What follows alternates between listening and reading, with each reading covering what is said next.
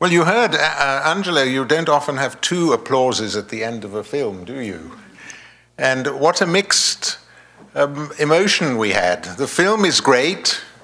You ended keeping us in suspense, but at the same time making it seem as if you were filming it now. But of course, you were filming it then, and the film actually ended with a sense of. Um, with a, a, sense of triumph, something achieved, but now those hopes have been dashed. So, in a way, this makes our work all the more critical, the need to pers persevere even greater. Um, so I'm really happy that Angelo, who, as I said this morning, not all of you were here this morning in my introductory remarks, Angelo was the one who really inspired us, inspired me to get this project going under the auspices of our International Observatory for Cultural Heritage when we decided that we had to be worried about the US, not just about the, the so-called US, I like to say, not just about um, Mesopotamia, Babylon, and Italy. Um, because the loss of the heritage, the threats to memory here are as grave as anywhere else, as we learned this morning. And Angelo, three days after I decided that we should do this event, um, I read Angelo's great op ed in the New York Times, which was a kind of condensed version, in some ways verbally extraordinarily more eloquent than the film. We always say pictures say a thousand words, but somehow in that op ed, which I suggest you all go back and read, Angelo made the case for Bears, Bears Ears in these threatened times even more important. So, Angelo, even more urgent, Angelo is um, about to complete his uh, PhD at NYU, and we've brought him up, so to speak, from both from Utah and from downtown to um, come up here to this university. And he really has been an activist all his life, and he still plays this critical role of being the um, director of the um, Native Students at NYU, Native Students Organization at NYU, as well as working on behalf of indigenous peoples everywhere. So, Angelo, it's a great pleasure to have you here. Your inspiration has been fantastic. There you are. We couldn't really have been here had it not been for Angelo's quiet devotion to the cause, his suggestion of names, his helpfulness in constructing this entire event. Thank you, Angelo.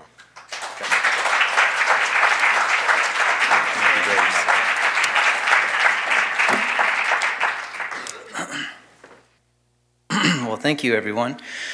Um, uh, I'd like to thank um, everyone at the Italian Academy here in Columbia, especially uh, David Freedberg and everyone else who put this stuff together, Allison, Baron, um, and you know uh, everyone who came out. Um, I'm really pleased and I'm excited. The collection of minds of intellect, of passion, of people who are excited to do this kind of good work. Um, and a lot of them I've uh, crossed paths with in professional circles and also just out there on the land. Um, and I'm really glad that we have this opportunity to come together and talk about these places uh, in a good way, in a passionate way, and uh, that this is a rare opportunity that you guys have. You have a lot of great um, uh, indigenous scholars and people who work with indigenous communities and are showing you the best ways to do that. And I think that's huge, um, especially in an academy like this, and that, that can't be understated. So um, I'm really, really glad that uh, we're taking that, that time and energy to really take it to the next level and elevate this conversation. And um, also, like David said, you know, I'm, I'm at NYU, in the anthropo anthropology progr program with the uh, culture and media documentary film program. So we uh, did this film project as one of the, um, the uh, student films. And that original one was a shorter 20 minute one, but I added a few more minutes as you can see with the actual designation going through, which is great. Um, and it kind of gives you a fuller sense of things that have happened. But as we all know, it, things have changed even more dramatically very, relatively recently. Um, and so I'm, I'm really uh, honored to be here to be, be presenting and uh, talking with all of you. I'm also happy to acknowledge the Lenape people as well, but all the other tribes that are, you know, part, um, you know, stewards of this land here that we're on in this island of Manhattan. You know, everyone from the Delaware to the Shinnecock, the Ramapo, uh, Haudenosaunee, like, you know, it, it was a very transitory place. A lot of people came through back then, and they're still doing that now. And it's a collection of people and ideas and, and um, technologies and amazing things, great ideas uh, that were being shared here. So it doesn't surprise me that we're all here together again, and this is where we're going to share that news and move forward with it. So much like uh, my heritage and my background as a Navajo and Hopi person, uh, I'm a runner, and I run every day, and you know, I went out to Central Park this morning and, you know, like, it's not just a hyperbole, it's a kind of a uh, cultural tradition I try to maintain. And part of that tradition, even as a Pueblo person, as you learned earlier today, is, uh, you know, we had messengers. We had people who ran to these different communities and we, we organized and we informed and we brought things back. And historically, the messengers were the ones that even the enemies would let through their territory because the message you have might be important. So I'm really glad to be able to deliver more messages here to you today. Um, so to follow up on the film a little bit, I really wanted to emphasize a couple things. Um, the film itself is a very broad introductory you know, foray into what Bears Ears is about. It comes more from my perspective and my family's perspective as a Navajo and a Hopi person, but also it really does a great job of kind of giving you a sense of the place. And, you know, it's hard to tell you what 1.9 million acres looks like, and it's even harder if you're not there. Um, so the best way that we could think of doing that was through like an aerial shot with a drone. And I had no idea at the time, but apparently uh, I'm the first one in the culture and media program to use drones in our student film. so now they probably have to do a drone workshop, and that's all my fault. Um, but you know what? Whatever, like indigenous peoples, we have always used the latest and greatest in technology, and we've shared it with the world. So, you know, we're bringing Bears Ears to you in ways you can't even possibly imagine right now. It's part of my job as a fellow at Utah Diné Bikéyah is like, uh, I do a lot of media facilitation. So I talk with a number of journalists and reporters, documentary filmmakers, photographers, artists, anybody that wants to do uh, media production, especially related to like audiovisual materials, because that's really an important and powerful part of our own identity is how do we present ourselves to the world, right? So now we're, we're in the throes of actually sharing Bears Ears in a number of really cutting edge technological ways, including drones and 360 video and photo 3D grammetry and just all kinds of like insane crazy stuff to like uh, give people a sense of not the, just the place, but what's there. The very rich heritage of indigenous peoples that have left behind many wonderful things including just extensive, beautiful archives written on the wall.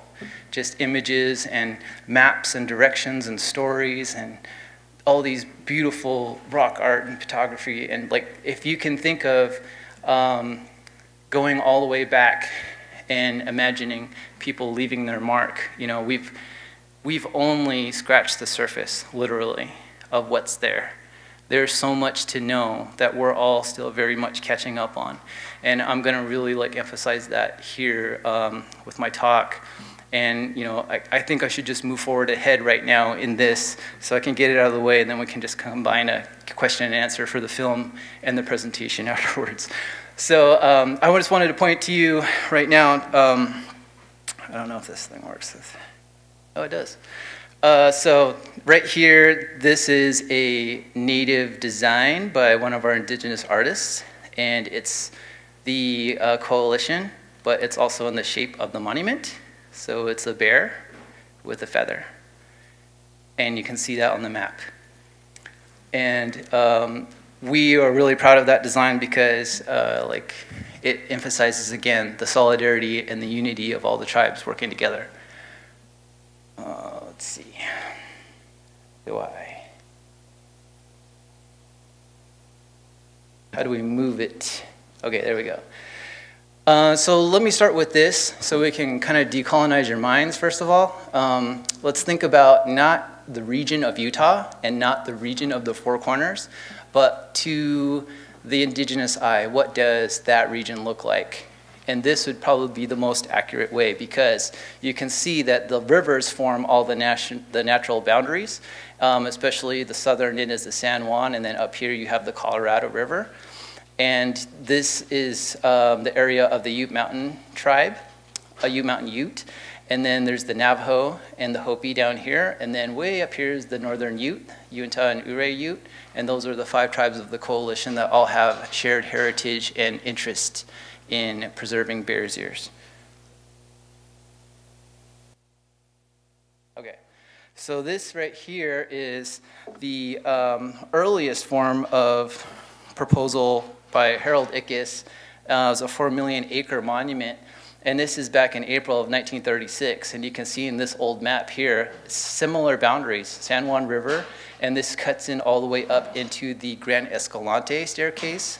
So you can see that very early on, there was consideration of making that entire area already a protected space. And this was something that people didn't really realize when they were making uh, claims that this was a midnight monument. Not true at all. They've been talking about this since the 30s. Just to give you a sense, and there's a lot of data here, but it's kind of hard to see this far away, and you can take a look at it later. But there's um, uh, a majority of all of the uh, Utah Navajo support for Bears Ears. And actually at one time, historically, factually, there was uh, unanimous support for it with all of the Utah Navajo chapters. So there's only one chapter that's dissenting, and that's usually uh, the one that we hear about the most in the media. So an important point to bring up is the Antiquities Act. Um, and this was um, really not designed with indigenous peoples in mind. It was really kind of sort of the um, evolution of like social and human sciences in which they were trying to like preserve these items and these things, these objects um, that were you know geared towards study in areas like archaeology and anthropology. But that's why when you heard Eric say in the films, like you never heard of indigenous peoples using the Antiquities Act for our ends right? So we kind of turned that around and we leveraged it and we said, well, yeah, we actually do have all of this uh, heritage that needs protection, and it's a it's a resource, but also, um, and if you look into the uh, proclamation, and I have a bunch of those little pocket proclamations that are brought, you can unfold them and you can see the Obama proclamation. One of the uh, key things listed in there is the traditional knowledge aspect, and that itself is a resource because you are um, invited to sort of understand what the traditional knowledge side of those tribes have to contribute to the overall knowledge of the place, as well as the objects. So um, to give you a better sense again of like space, because I'm all about visuals, uh, you can kind of see from the borders of this, there was quite a bit cut out of there.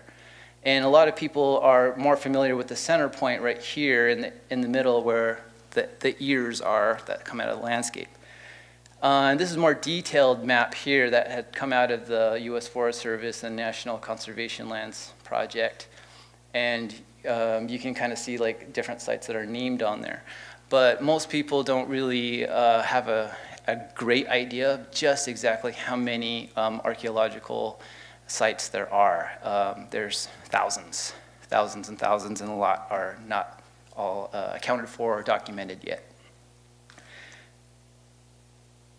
Okay, so we already kind of heard this too. Um, it's about 65% of federal land ownership in Utah, so this is part of that public lands debate where everybody's sort of uh, vying for different lands for multi-use or for extraction or, or business purposes. But uh, you can kind of see here with this little orange color and this map here, that's all federal land. And then down here is the little chunk of Bears Ears where it's all federal land. So, you know, it's misleading when a lot of people are saying like, oh, it's a land grab, it's a federal land grab. It's like, no, the feds already have it. Like, you know, get your facts straight. Uh, so this is, it's a real misinformation campaign um, on the majority of the stuff that you heard. And that's why um, I feel like my intervention is very important because we not only represent ourselves, but we also try to set the record straight. We try to make things factual and get a little bit more of the indigenous voice included in our representations. So to give you a sense, everybody started out with a proposal of the 1.9 million acres. And then it went to a compromise of 1.35 million for the actual designation. So there are some areas in there in which a lot of people um, wouldn't want to budge on. And um, a, a, lot of that were like already areas that had uh, mining interest involved. And so now we see like it's, around, it's about 228,000 acres with the reduction with the Shash Jáa monument and the Indian Creek one. So as I said before, the traditional ecological knowledge part is also extremely important.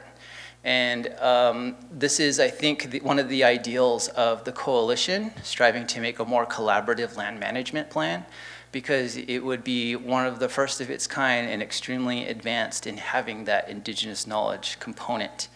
If you know anything about parks and monuments, when those developments had been uh, made uh, early on in this country, they were done without native input and involvement. In fact, they were done in mind to remove them and displace them out of these places.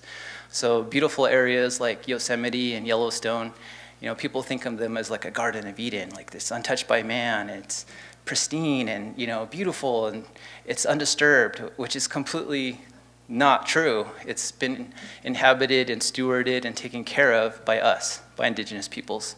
In fact, a lot of those places are sacred places. And that's why they're so beautiful, is because we took care of them. And if we had been included from the outset in these ideas about what stewardship means, or conservation, or preservation, it would have a totally new and different outlook today than what you would know of it right now.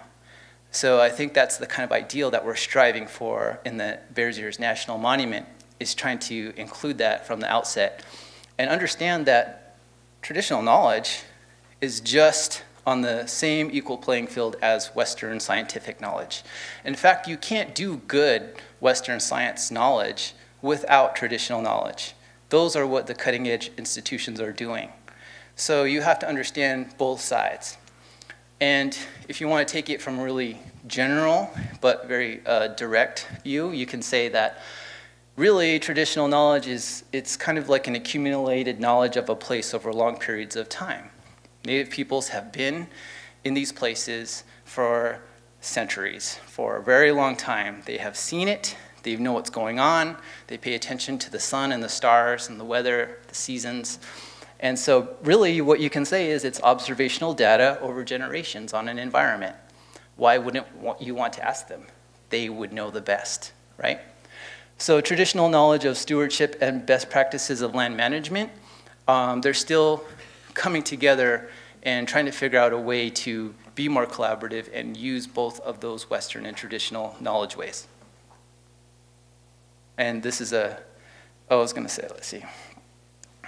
This is a cool um, picture of them harvesting uh, traditional foods out there in Bears Ears that the, uh, the kids are going to make for dinner.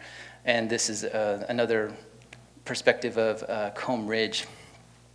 So I just wanted to point out quickly that there are uranium interests in Bears Ears, and I think that may have had some influence, I think, in reduction processes as much as the, the oil companies have had and have had previously, especially in the other sections uh, in the, um, the corner of Utah where Aneth and Montezuma Creek had been impacted extremely heavily, that, which you saw in the film. Uh, water and um, you know livestock getting poisoned and people having a difficult time trying to have a livelihood. Uh, the same area that my grandmother raised our family on, you can't even really live there anymore. All the, uh, the springs are dried up uh, due to the oil drilling. It's really just kind of cracked what's underneath the surface and uh, you, you can't really live there. Uh, so the Daneros mine on that side is still operational and still uh, something that was intentionally left out of the monument.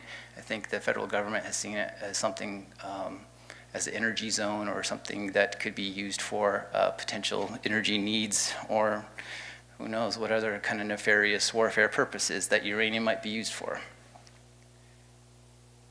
Uh, so this is also going double for the Grand Escalante National Monument. Course, there's coal there, and uh, there's uranium there, and there's just enough of it to make it interesting to reduce those things so that people can go get it, like corporations and businesses, but also the government, which benefits um, uh, to, to lease those things out. So what we see here is kind of a, um, a network of uh, obstacles in which we're facing and trying to protect these beautiful places. And you can see also with the uh, Utah Monument proposal that there's also uh, oil wells dotting all over the place here and uh, uranium interests in these places. And, you know, despite what they tell you, like, oh, there's not enough to go mining, like, that doesn't mean they're not going to do it because they do and they have and uh, it's kind of amazing to me just to see like how, how much people are still putting faith in uh, the processes of the government saying that oh no we're not going to do that when it's like uh, clearly you see from Standing Rock they weren't supposed to do that, and they did it anyway. So there's already a precedent. You know, like there is going to be uh, some incursions into these indigenous territories, and we shouldn't be surprised by that. What we have to be doing is actively fighting it. So, and there's an 85% reduction in the designation, allowing for opportunities of mining, drilling, and extraction. Um, the claims filing had opened up on the 2nd of February, and uh, the renaming of both the monuments, Shash Jáa and Indian Creek, was also kind of divide and conquer tactic where, you know, they named the southern part Shash Jáa, which is Bears Ears in Navajo, but really, as a coalition, everyone decided to have it just Bears Ears because that's what it is in all of the languages. So it's all represented in all five uh, of the tribes. And you know, to add more to that point, like as an anthropologist, I've always found it fascinating that Zuni is a language isolate, and they're not related to any of the other family tribes or family uh, lineages of, of language. And so they came up with Bears Ears on their own. Bears Ears had its own relationship with the people that were there. So it revealed itself in its own way.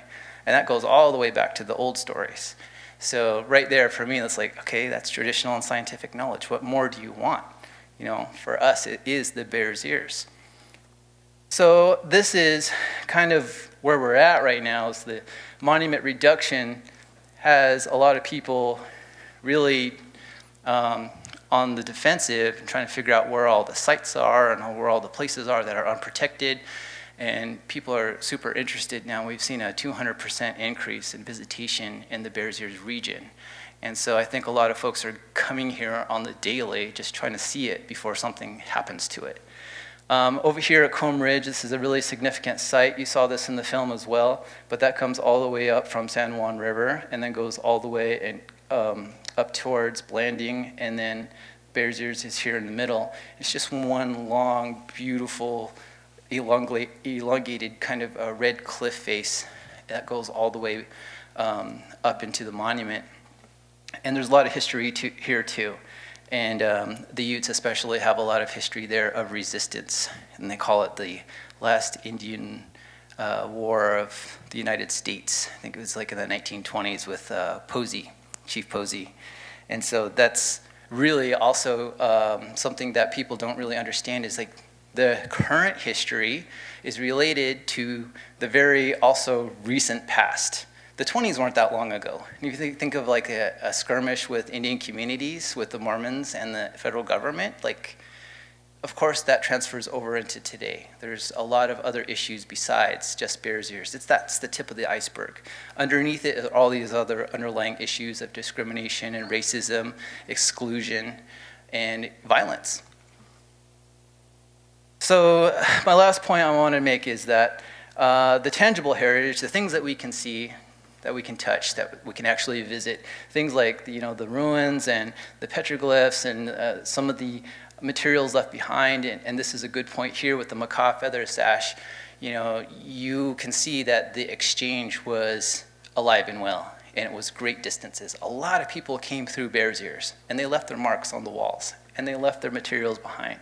And this coming all the way from the south, where you, only you can find those, those feathers down there. And you, if you know what you're looking at, can kind of really culturally interpret like, oh, that's not ours. That's not ours at all. There's a lot of people who came up here to visit, you know, build trade networks, have families, uh, visit communities, and some of those stories are still alive and handed down through the tribes. So the intangible heritage part, that cannot be separated from the tangible heritage part. That actually completes it, much like the traditional knowledge piece and the Western knowledge piece. I could have this thing or this object, right? But I can tell you what it's made of and like how recent it is, where it came from, but I wouldn't have much else unless I talked to the people. And that's where we come in. And that's extremely important because you can't know what the thing is without the people. You don't know what it's called in the language. You don't know how they made their materials, what they painted it with, what the songs were, what the rituals were, the ceremonies, all the things that were affiliated with that, and how even we still use them today. And that's extremely important because without it, then really you're separating it and you're not having the full knowledge of heritage. So that kind of points more towards uh, a lot of the work that everyone else here is doing, especially with the UN uh, Declaration on Indigenous Rights. Uh, this is more towards the work that I'm leaning toward right now as well with uh, in, intellectual property protections for our communities. And so we're doing a lot of that now where we're protecting um, the, the same kinds of culturally sensitive data, you know, songs, ceremonies, uh, rituals, uh, language, all the things that we think need additional protections. And this kind of exchange of us inviting people to take care of Bears Ears, there's also like a level of trying to get people more um, attuned to what those cultural sensitivities should be with working with indigenous communities. So yes, the Bears Ears gatherings have been happening for you know a couple of years now, and we have another one coming up in July. So in mid-July, um, all the tribes will be coming together at Bears Ears for another gathering. But again, that invitation is open up to you guys. So like if you ever want to come by that time, that would be the perfect time because we'll all be there. Um, come on by. I have a big backyard. It's 1.35 million acres. Um, there's some. We'll find some room for you. But you know, this is really one of those things where we want to pose it back to you. You know, this is the responsibility of you as an American citizen as well. You may not be indigenous, you may not know what Bears Ears is like, what, it's, what it feels like to be there uh, in that beautiful earth with all this life around you. But this is your responsibility now to speak up and do something. You have accountability you have resources, you have powers more than you can imagine. And that's most of what the world doesn't have, are the same things that you have. You have social mobility, you have resources, you've got money, you have networks, you have reputations, you have professionalism, you have skill sets, you have all these things that can move things that need to be moved collectively. And for those people who feel like this is a desperate time, I don't, I disagree. I feel like this is a good time for us to work to collaboratively now, more than we've ever had to before. Because if these five tribes can stop fighting amongst each other, then I think we can all take that lead and understand that it's time for us to put our differences aside and protect the things we love most. These are these are the most important things. The work that I believed in, the work that my grandmother believed in. We never got to see the monument happen. And this is different than anything I've ever seen. It makes me happy, you know? It's the kind of thing that all my elders tell me that Bears Ears is for. It's for healing historical trauma, historical injustice, contemporary ones. I don't believe in the government so much as I believe in you guys. And I'm going to trust you with that. And you wouldn't feel the same way unless you were, you know, if you weren't here, that would signal something else, but you're here. And that's why I'm telling you, from the tribes, from the people there on the ground, this is important. And I, I'm thanking you for that. Because what you're witnessing here is still the extension of that coalition.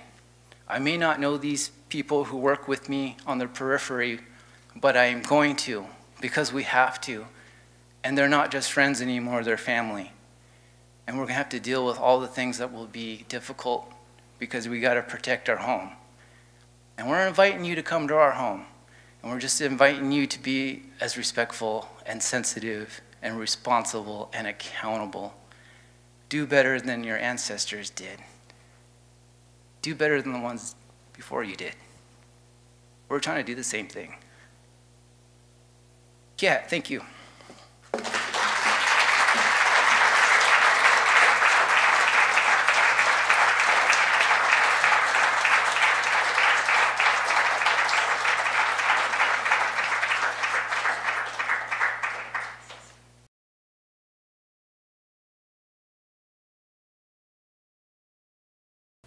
Right now, um, we're going to hear from, I believe, Elizabeth Hutchinson.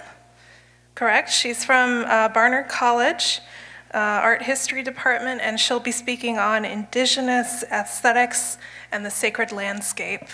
Um, Elizabeth?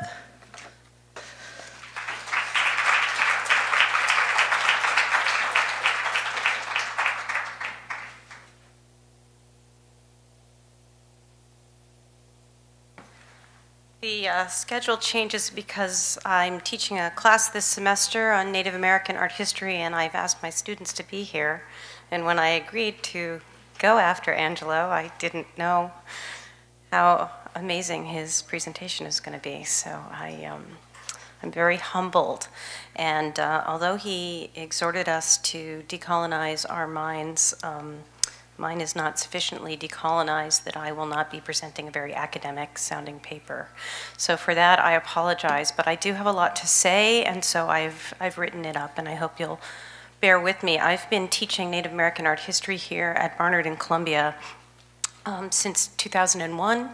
And um, we've seen a lot of growth on campus of people taking an interest in Indigenous issues and coming to understand that you can't study Indigenous um, history or culture without um, taking on questions of sovereignty and, um, and decolonization. So um, I'm grateful for this opportunity and thank you to the Italian Academy for including me in um, some of the discussions around this event. And I also want to acknowledge the that we are in indigenous territory. And like Angelo, I want to point out, because I think it's very important, that this is Lenape territory, but it is also territory through which many indigenous peoples have passed, continue to pass, and will pass in the future.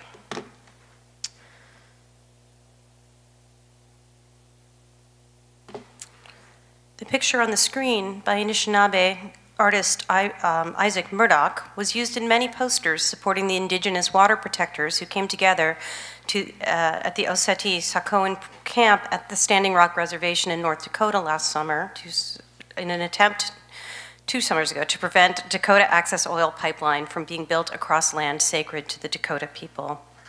The scale and force of the No DAPL protests, which attracted supporters from indigenous communities across the nation and globe, took many by surprise.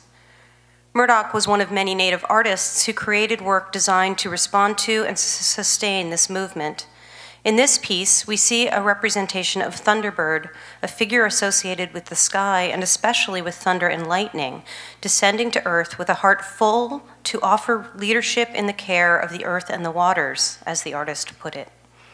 It is an integrated image, as the thunderbird is conventionally conceived of as male, the complement to a female underwater panther, or sometimes serpent, associated with the earth, and especially for the Anishinaabe peoples whose homelands center on the waterways of the Great Lakes and what is now the US Canada border, water as a sustaining element of life on that earth. Referencing historical works such as this bag that balances male and female sky and earth by juxtaposing thunderbird and underwater panther, Murdoch connected the contemporary protest often seen by outsiders as grounded in politics and centered on a struggle over the human right to clean drinking water, with traditional indigenous understandings of the relationship between human beings and other aspects of the material world. As Anishinaabe law professor Deborah McGregor put it, for indigenous people, water isn't a commodity, it's a relative. The attempts by coalitions of tribal peoples to preserve the ancestral lands of the Southwest have garnered less national attention, but they too have inspired artworks that give visual form to indigenous reciprocal relationships with sacred landscapes. In my brief talk today, I want to introduce the work of a few artists working in this area in the hope that they might expand upon the discussions we've been having around law, history, and activism in this conference. And I'm only going to show a few artists, and, um, and so I am sorry that I'm not necessarily able to, to cover all the wonderful works that have been produced, and many of the works that I'm looking at um, aren't very recent. Enrolled member of the Confederated Salish and Kootenai tribes of the Flathead Indian Nation, Jean Quick-to-See Smith's Petroglyph Park series, produced between 1985 and 1987, invite comparison with the Standing Rock artworks. At the time, residential development of the western edge of Albuquerque, New Mexico was destroyed an area of volcanic cliffs above the Rio Grande River that is one of the densest sites of petroglyphs in North America and has traditional and historical relationships to Pueblo, Navajo, and Apache peoples of the region, as well as traces of early Latinx and Anglo presence. Though not from the region, Smith, a local, understood the significance of this land and created a set of works that responded to the lengthy legal battles that challenged developers and were sold to raise funds for a push for the preservation that eventually resulted in a portion of the mesa being preserved as Petroglyph National Monument.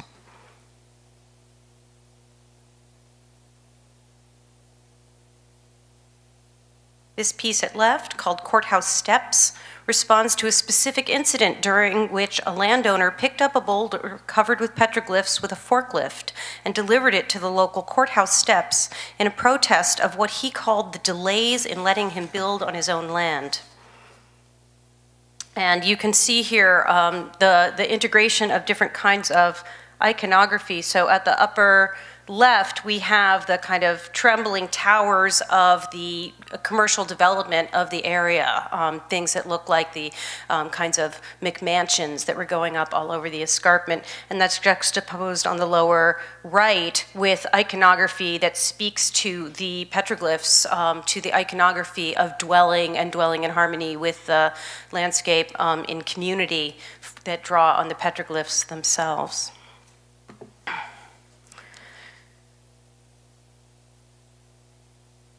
Uh, Smith's uh, use of abstraction is uh, both a modernist gesture and a visual strategy employed by many Native artists who, as Kate Morris argues, have every reason to avoid issuing further invitation to an already appropriated landscape. The paintings create a connection between artists across centuries, responding to the formal qualities of the mesa and the life-giving environment in which it was situated by connecting her gestures with paint to the rock inscriptions of ancestors.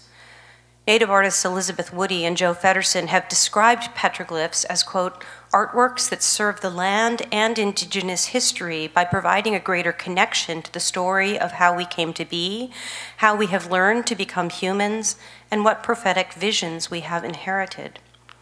Similarly, Laguna Pueblo author Leslie Marmon Silko, who grew up not far from this mesa and other ancestral sites in northern New Mexico, has characterized rock art as creation stories made visible, and noted how they link history and environment as a means of communicating essential information for Pueblo physical and spiritual survival. Quote, interrelationships in the Pueblo landscape are complex and fragile.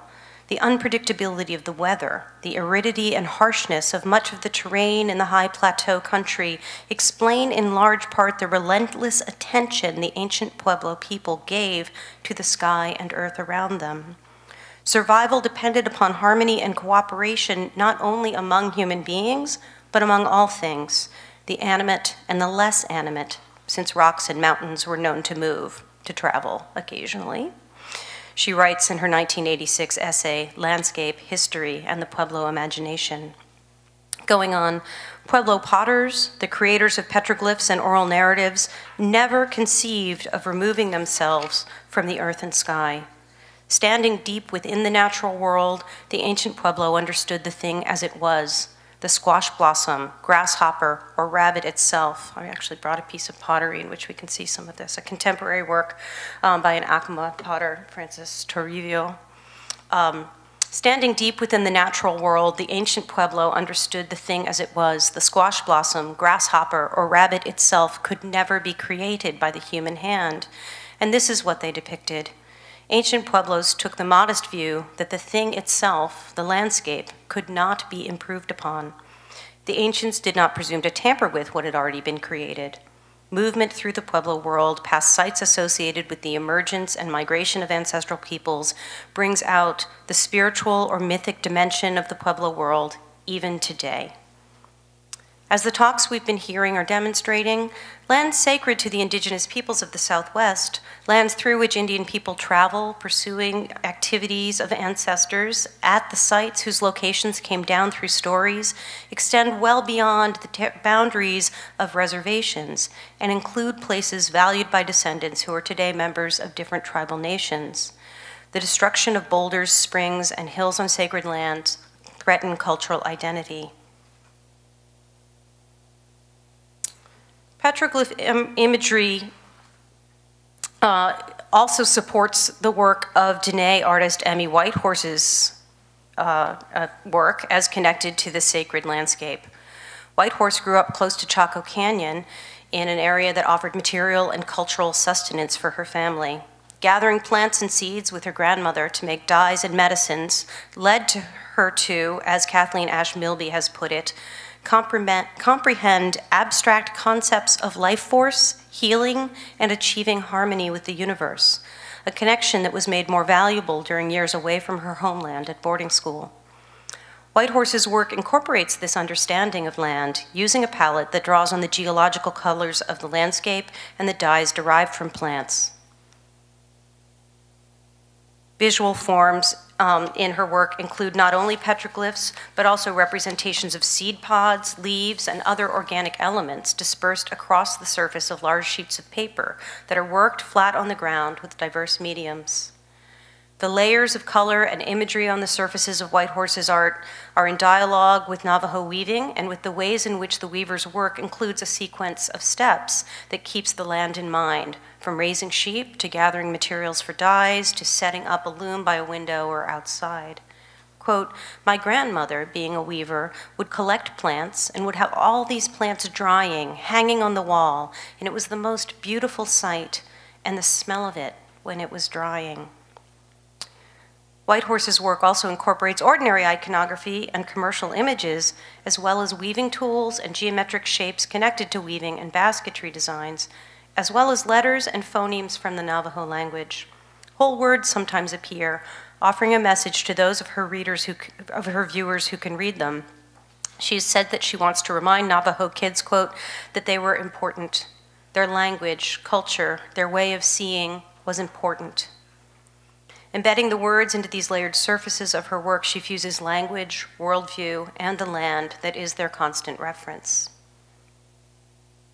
Whitehorse's commitments are assertions of cultural sovereignty. The perpetuation of the indigenous language and lifeways are inseparable from indigenous access to, control of ancestral land. In these struggles, as we have heard, the relationship to land is not one of property that can allow for the transfer of ownership and exchange of one plot for another. Dakota intellectual and theologian Vine Deloria posited that the settler colonial worldview is organized around time, while indigenous epistemological thought is centered on place. For Deloria, settlers see the land as a site of developmental achievements that made them masters and guardians of the material world, a point of view that creates an inherent divide and hierarchical relationship between human beings and the land. By contrast, place structural tribal identity as past events and revelations are recalled by repeated ceremonial practices at the very sites where they occurred. And revelations are recalled by, um, and, sorry, occurred, maintaining and updating the relationship to land continually. Quote, it was not what people believed to be true that was important, but what they experienced as true. Hence, revelation was seen as a continuous process of adjustment to the natural surroundings and not as a specific message valid for all times and places, as Western religion would have it. Writing in the 1970s, Deloria spoke about Native American thought generally, but of course it is vital to understand that the hundreds of distinct tribal nations within North America have distinct ways of considering and interacting with their own sacred landscapes. In the arid Southwest, as Silko's words remind us, traces of the generations who came before surround contemporary people and instruct them on how to survive because, because they've been preserved.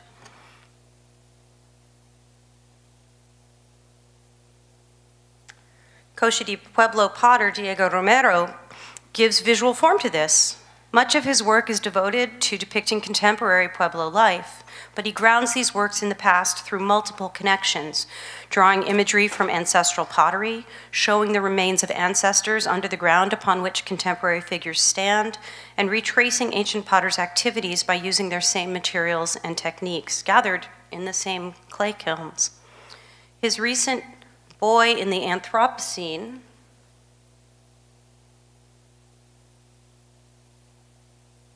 I don't know why I'm having so much trouble. There we go um, encircles a current vision of the world with a ring of stylized plants that bring the mutually sustaining relationship between people and their land into clear view.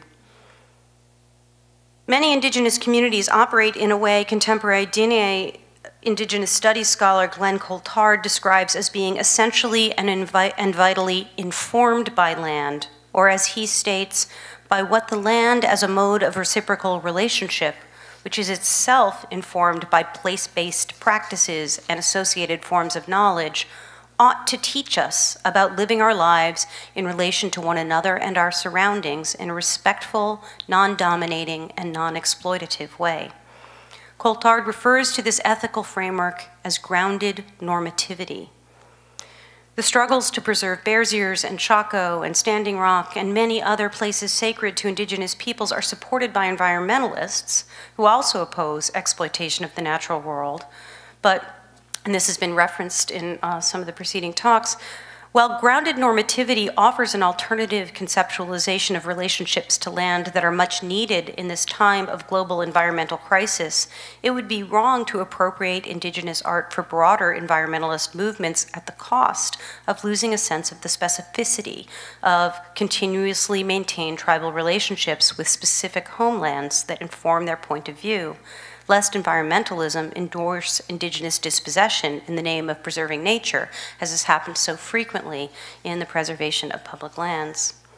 Certainly, there are many examples of clashes between indigenous communities and environmentalists. I just brought in a reference to uh, whaling in the northwest coast, right? Um, uh, the legal battle over whaling rights of the Makah Nation of Washington State in this struggle, environmentalists argue that the Makah no longer need whales for food and should not hunt endangered species, but the Makah counter that whales feed their spirit and that marine hunting rights are so important to their cultural identity that their ancestors fought to have them included in the nation's 1854 treaty with the United States. Whales sacrificing themselves to meet the needs of the human community is understood as an essential aspect of the reciprocal relationships between the two species. For Diné artist Will Wilson, as for the other artists I've discussed, care for the material world holds sacred continuity with care for human community. Wilson makes pictures that envision a sense of nourishing, even healing, aimed at both the land and the people that comprise his community in the face of environmental damage caused by the extraction industries. His monumental 2005 installation, Autoimmune Response, depicts a landscape well known to settler viewers through Western films and sublime landscape paintings like the Moran um, oil painting on the right. Uh, um, and yet, um, those Western representations show an alienated, commodified relationship to the Diné sacred landscape. And of course, the Grand Canyon is sacred to many of the indigenous tribes of this region. Art historian Nancy K. Anderson has specifically read Thomas Moran's work as an articulation of the value of the West as a resource, quote, skillfully crafted and consciously composed for a market interested in the West, often as an investment, most Western landscapes carried a conciliatory message implying that the natural and technological sublime were compatible that the wilderness landscape Americans had used to define themselves and their nation since the 17th century could endure as a capital icon when being converted to economic use. On the Navajo reservation, this attitude led to extensive mining that continues um, by settlers whose ability to enter tribal land and remove its mineral wealth faced only the slightest federal barriers. This exploitation was made more damaging because of the fact that the reservation, covering 27,425 square miles or over 7 million hectares, spanning the intersection of Arizona, New Mexico, Colorado, and Utah, we saw some maps, maybe you have a sense of that, um, contains rich deposits of uranium, oil, and coal. According to the US EPA, from 1944 to 1986, nearly 30 million tons of uranium ore were extracted from Navajo lands. And in this work, a largely Navajo workforce was exposed to radioactive materials, and uh, Angelo's grandmother tells a story of, of some of the kinds of things that the extraction industry has done to, to family and continuity. Um, the mines, both before and after being abandoned, have leached toxic chemicals into the ground where it contaminates the water used for drinking and agriculture. In 1979, a tailings pond designed to contain nuclear waste near the town of Church Rock breached its dam, spilling more than 1,000 tons of toxic materials into the Rio Puerco River in a disaster that was worse than the one occurring four months earlier at Three Mile Island plant in Pennsylvania, though it received much less coverage in the news. Wilson's work seems to make reference to this. Um, the impact of this history on the health of Navajo people, their animals, and their crops has been devastating. And in 2005, the tribal government banned all mining on their territory. And now, of course, in Bears Ears, what's being fought is mining on um, territory that's not legally granted as part of the Navajo reservation, but obviously is part of their, um, of their territory nonetheless. It was only in February of 2017, after decades of court claims, that a settlement was reached forcing former mine owners uh, and the federal government to clean up the damage from uranium mining, and I haven't actually um, checked into how that's doing in this current moment. Wilson's work responds empathetically to the damage that this history has done to this land and his people. In this black and white picture, he stands, oh, in, sorry, in this black and white picture, he stands in a flooded field wearing a gas mask you just saw it, um, creating a sense of identification between vulnerable human and vulnerable land. Wilson's references to images like Moran's is deliberate. He wrote that he, quote, wanted to appropriate images and pre-contextualize what was going on in them, coding them as relative before they were resource.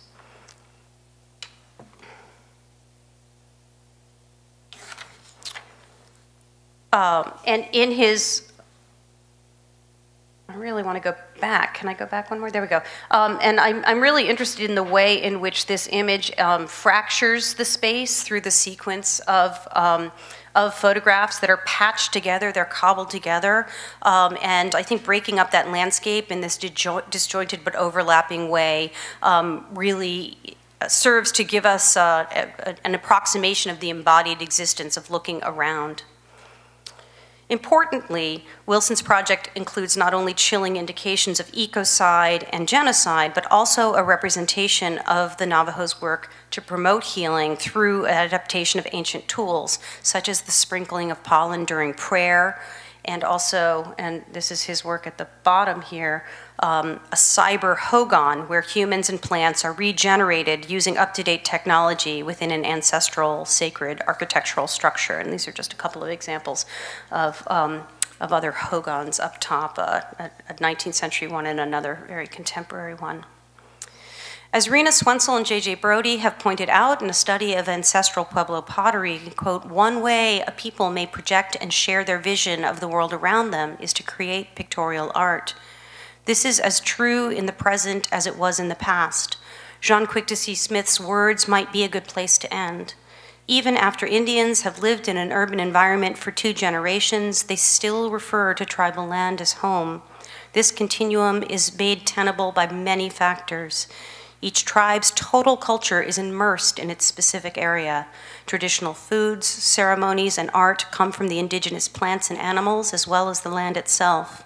The anthropomorphism of the land spawns stories and myths. These are the stuff of culture which keep identity intact. Thank you.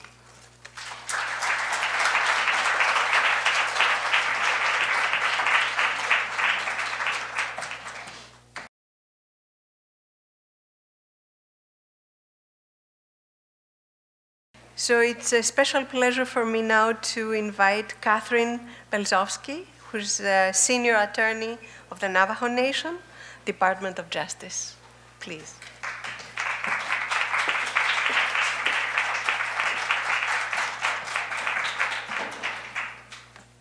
Thanks. I'd like to thank Professor Hutchinson for going after Angelo, someone who's gone after him in other presentations. It is not easy, so thank you for doing that. I appreciate it. Um, my name is Katherine Belzowski. I'm a senior attorney at the Navajo Nation Department of Justice. I'm here on behalf of Attorney General uh, Ethel Branch. I'd like to thank the Italian Academy for having, uh, having me here today. I am a non-native. I'm actually um, about a quarter Italian.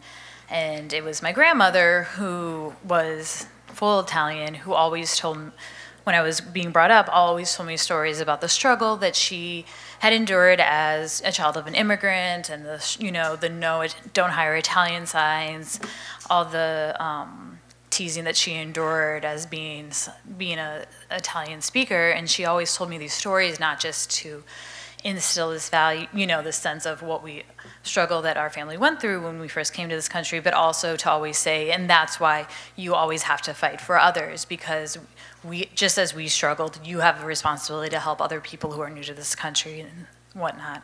Um, and I think she'd be really excited to have the Italian Academy sponsor something of this nature because it was through her, her influence that led me into this career path. Um, I always have to kind of pay for, pay back, pay forward, pay somehow. Um, so anyway, uh, I see if I can figure out the technology. So um, I work for the Navajo Nation Department of Justice. This is the Navajo Nation in its entirety, about the size of West Virginia. It's quite large. Um, where I work is called Window Rock, which is the bottom part um, of the the screen, which is quite a ways away from the Utah area. But I wanted to show this because I think a lot in the discussion of Bears Ears, there's a lot of talk of Utah Navajos, you know, versus other Navajos, and it's important always to start the discussion with that the Navajo people are one people, whether they may reside on the Arizona portion of the reservation, the New Mexico, or the Utah side. And when the Navajo uh, Nation government speaks, it speaks on behalf of all its members, not just members located in certain areas. Um, so this is the Navajo Nation Department of Justice where I spend my days. Um, it's like I said, it's located in Window Rock, Arizona, which I always enjoyed giving these presentations, especially when I know Angelo is going to be speaking, because he his video is a reminder. Sometimes when we work in the government, as anyone who works in special governments probably is aware, you kind of get lost from the fight a little bit of what you're fighting for, and so it's always nice to be refreshed by his presentation and his videos of you know why we we the government, you know, the attorneys are carrying out these fights and what's really at stake here. Um, the Navajo Nation Department of Justice is to kind of give you a little background. We're the only department of uh, in-house tribal um, Department of Justice. We're modeled after the U.S. Department of Justice, so there's about 20 in-house attorneys that the nation employs, and we represent the nation on many different matters. I'm in what's called the litigation unit, and that's how I'm involved in the Bears Ears, um, because I'm one of the attorneys who filed the complaint against Trump on behalf of the nation. There's other attorneys who do everything from natural resources to economic development to taxation issues. But it's a very unique setup, and it's, it's interesting to note that the nation is the only um, party representing itself. We didn't, we're not using outside attorneys, not that there's anything wrong with the outside attorneys, they're very brilliant. Um, but the nation feels that it's important to try to represent itself and have its attorneys represent uh, represented in as many issues as possible. Um, I'm actually, there's not as many, even though I happen to be a non-native, I'm a, I'm unique. There's actually, it's primarily made up of Navajo attorneys. So that's something that we are proud of at the nation. Um, so San Juan County. So as we looked back, um, you, oh, I guess you can't, well, I broke it. Oh, okay. So when we were looking earlier at the map, uh, the map on the right, uh, the pink area, that's the Navajo Nation. Um, and that's a part of the, uh, about as much of uh, the San Juan County. The, all the different colors you can't see because it's really small writing um, show the different dispersion of population throughout San Juan County. And as you can tell, the majority of the native population in San Juan County is on the Navajo reservation um, at the bottom part of the county. And this is doesn't quite do the same justice as the video, the movie that we just watched, but here are some beautiful parts of Bears Ears. So Bears Ears isn't technically on the Navajo Nation. It's actually on the part of the lands just a little north of what is the formal Navajo Nation reservation boundary. But as Angelo talked about in his presentation, the Bears Ears land is part of the ancestral territory of the Navajo people.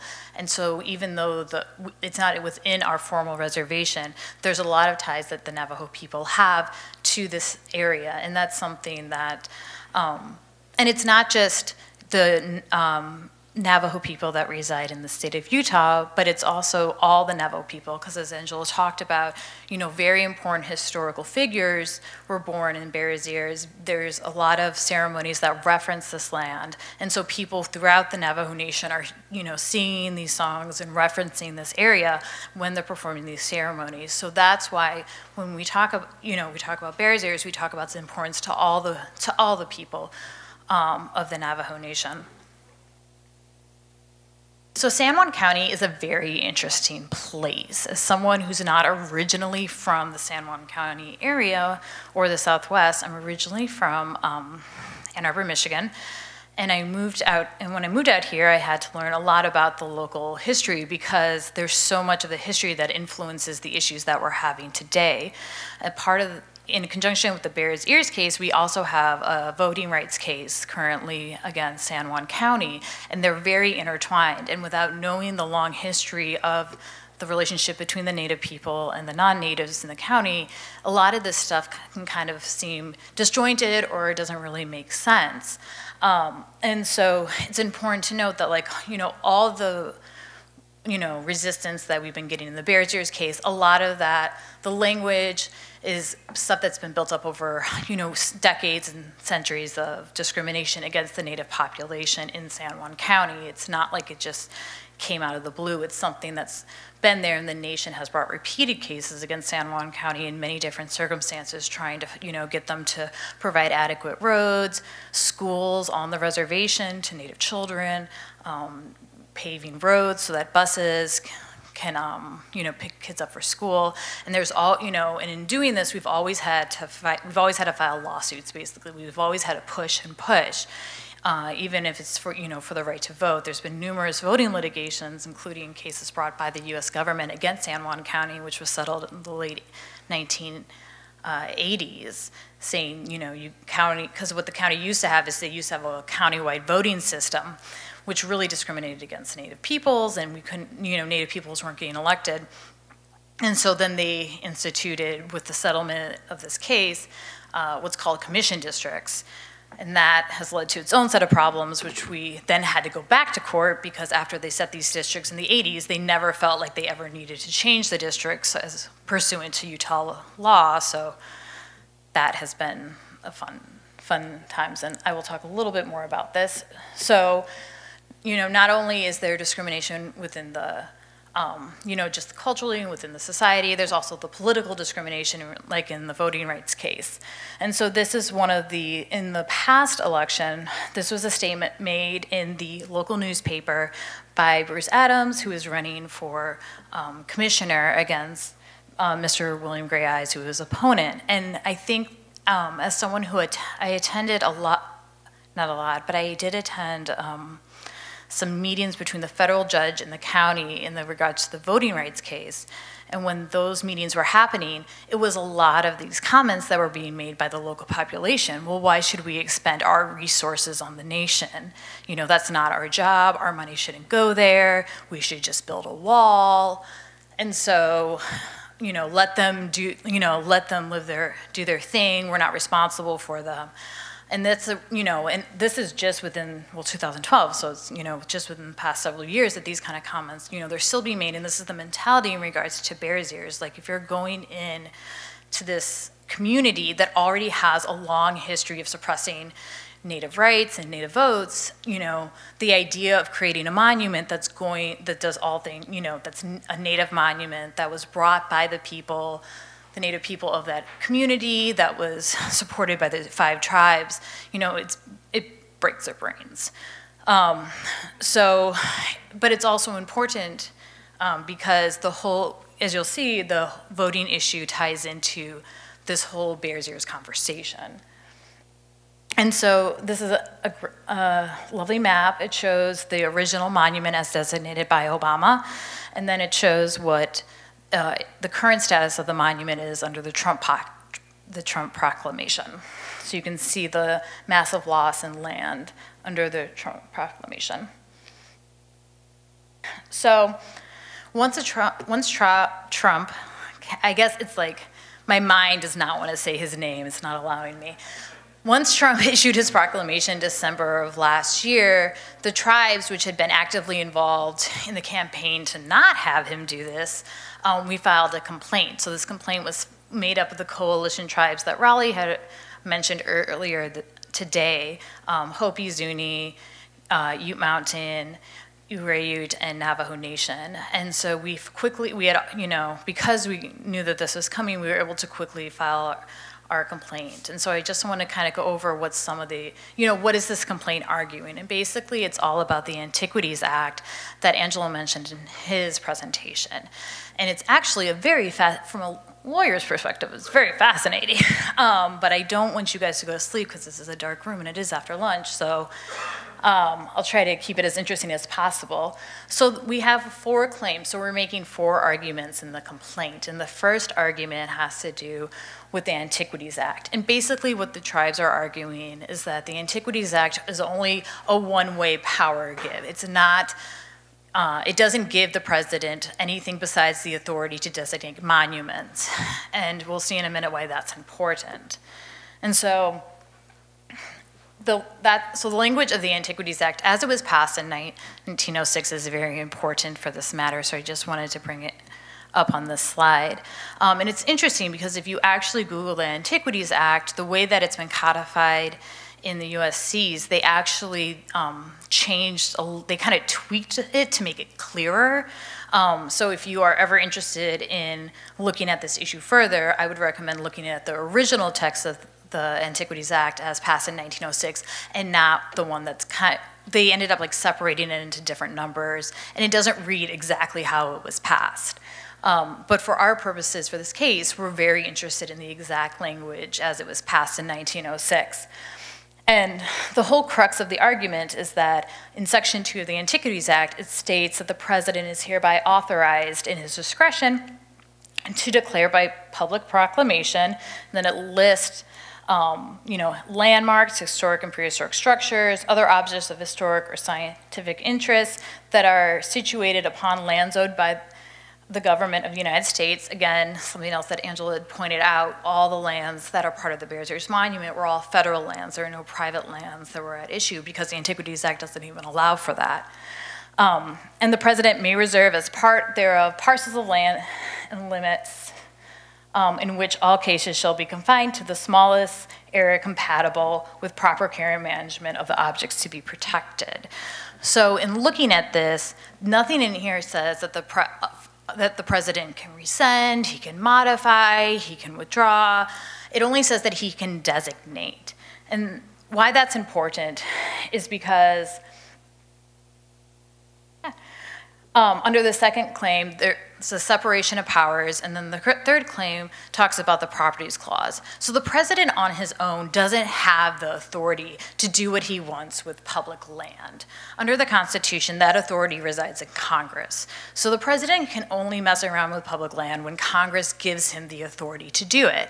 And so that's why, you know, the exact language of the Antiquities Act is really important because he, he can only do what's been given to him. And if he hasn't, Congress hasn't given him the authority to modify, rescind, change national monuments, then how is, what is he doing, right?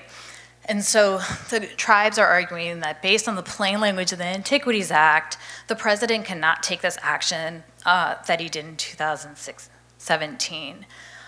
And, you know, and then we talk about the separation of powers, um, in the Constitution that says, you know, all legislative powers are vested in Congress. So basically, the president, by doing this action, which the Antiquities Act does not, plain language does not say he can do, he's violating the separation of powers. He's basically creating new law, and that is only something that Congress can do.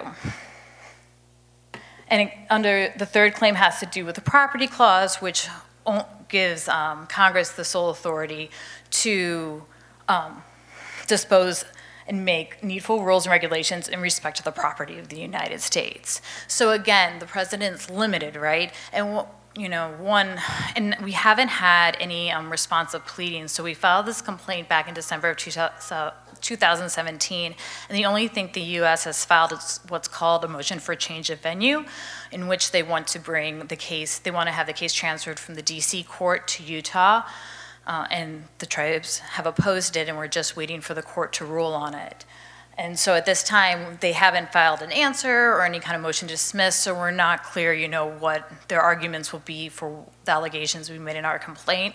But I suspect that they're going to have to make an argument to the extent of, you know, they're going to have to read in the language, right? Like they have to read it in because if the plain language doesn't clearly say you, president, can also do X, Y, Z, then you have to infer it. So you have to say, well, it may not say exactly this, but you, we infer that he has this power, that he has this right.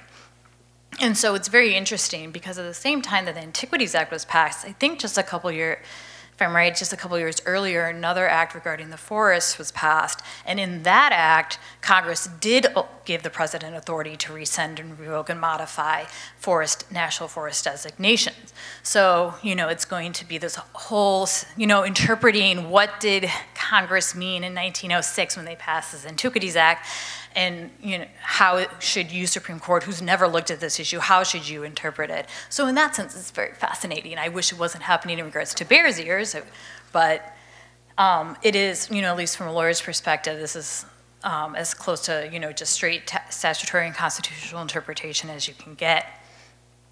And then our fourth claim that we has to do with the administrative procedures act or the apa and what this claim talks about is this one the first, second, and third claim are directed towards the president. You, president, have acted outside your authority of what Congress has given to you. You've acted outside the authority of the Constitution.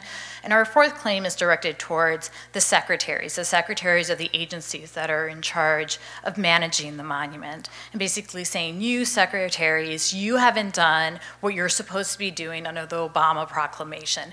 And therefore, you're unlawfully uh, withholding your duties. So not only, and that's why it's not only, um, the case isn't just versus President Trump, it's also versus the Secretary of Interior and the Secretary of Agriculture.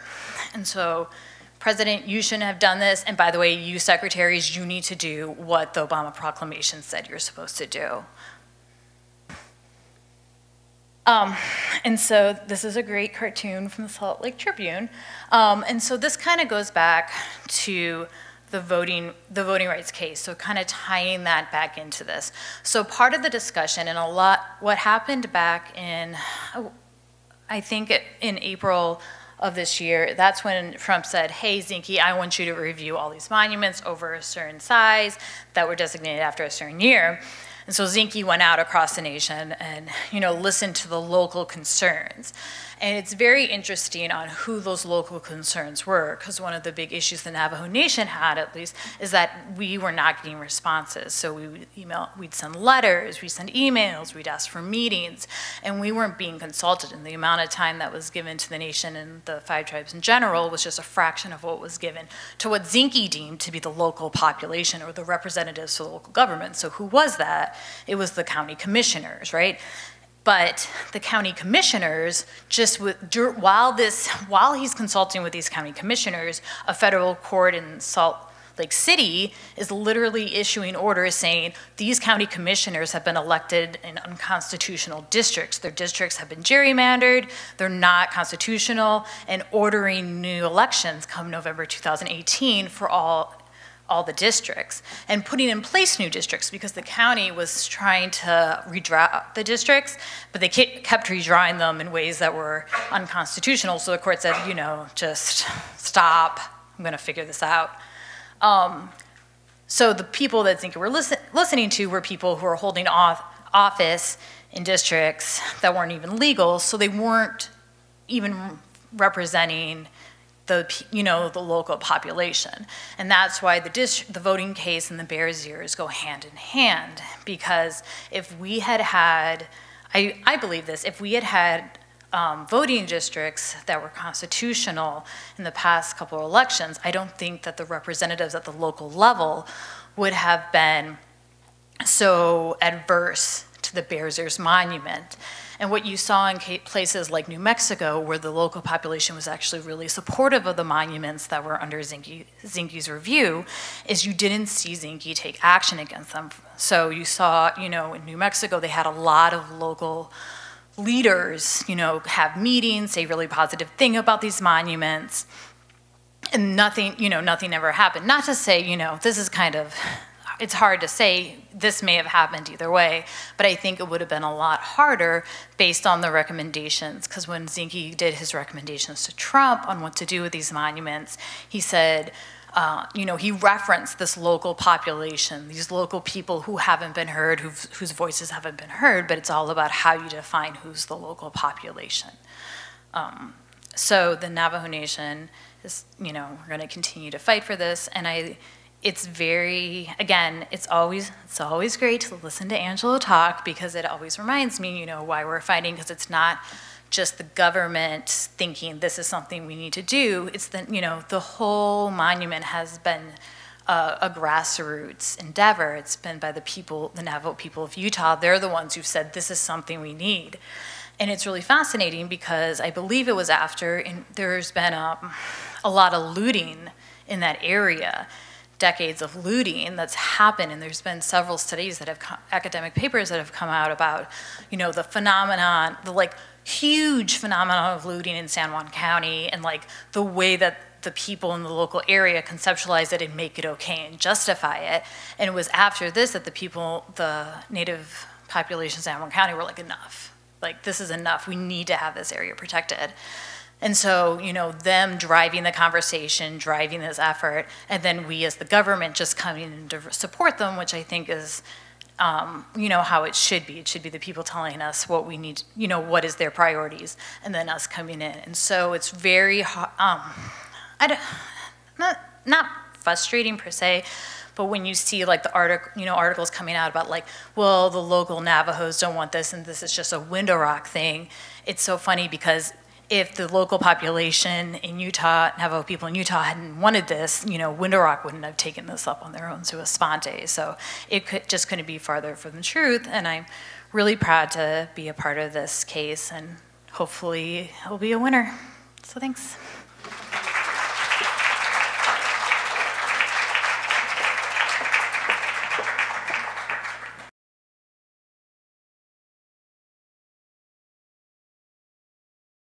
I would now like to invite Kevin Madalena, uh, Pueblo de Jemez, New Mexico, Utah Diné Bikéyah Community Outreach Coordinator, Field Researcher, Geologist, and Paleontologist. The floor is yours. Thank you.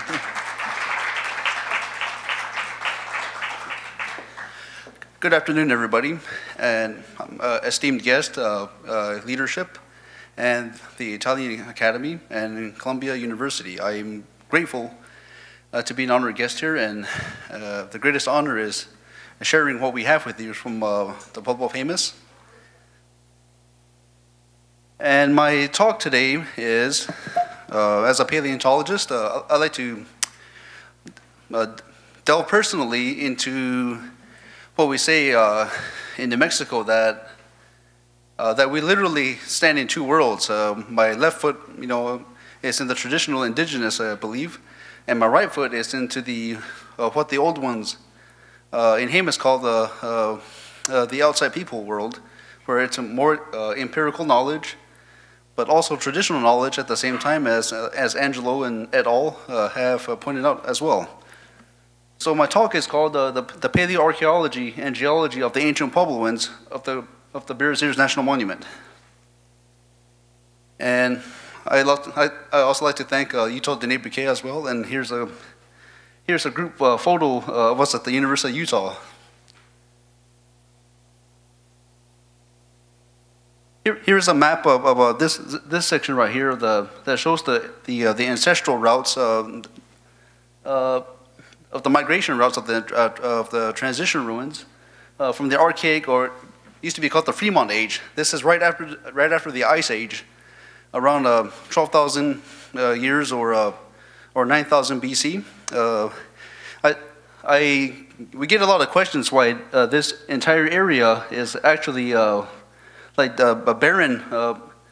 Here's Nevada, Utah, and Colorado. This line right here, all the way up north, why it's there's no record of um, there's no record of any natives back then. Well, it, it was the Ice Age.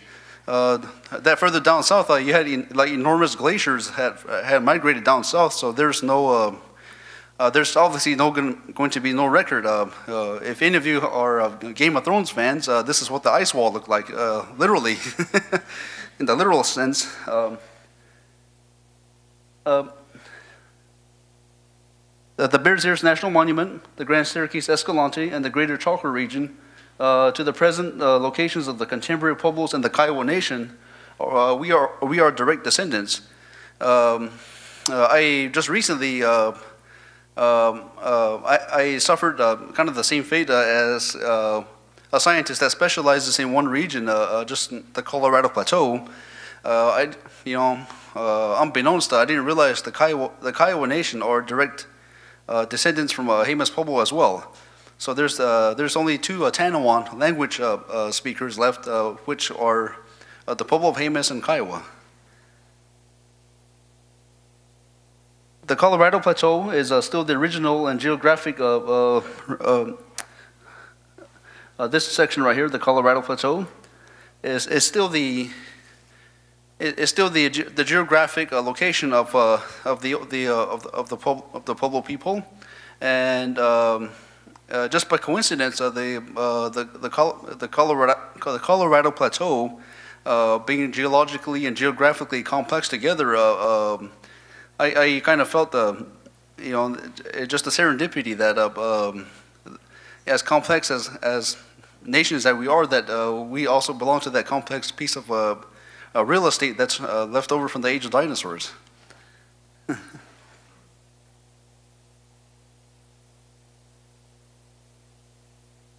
Uh, with the Archaic Age or the Fremont Age, the, uh, um with the recent archaeology uh, uh, advancements, uh, the, uh, since I'm more of a paleontologist, uh, people are, uh, I'm learning more as well.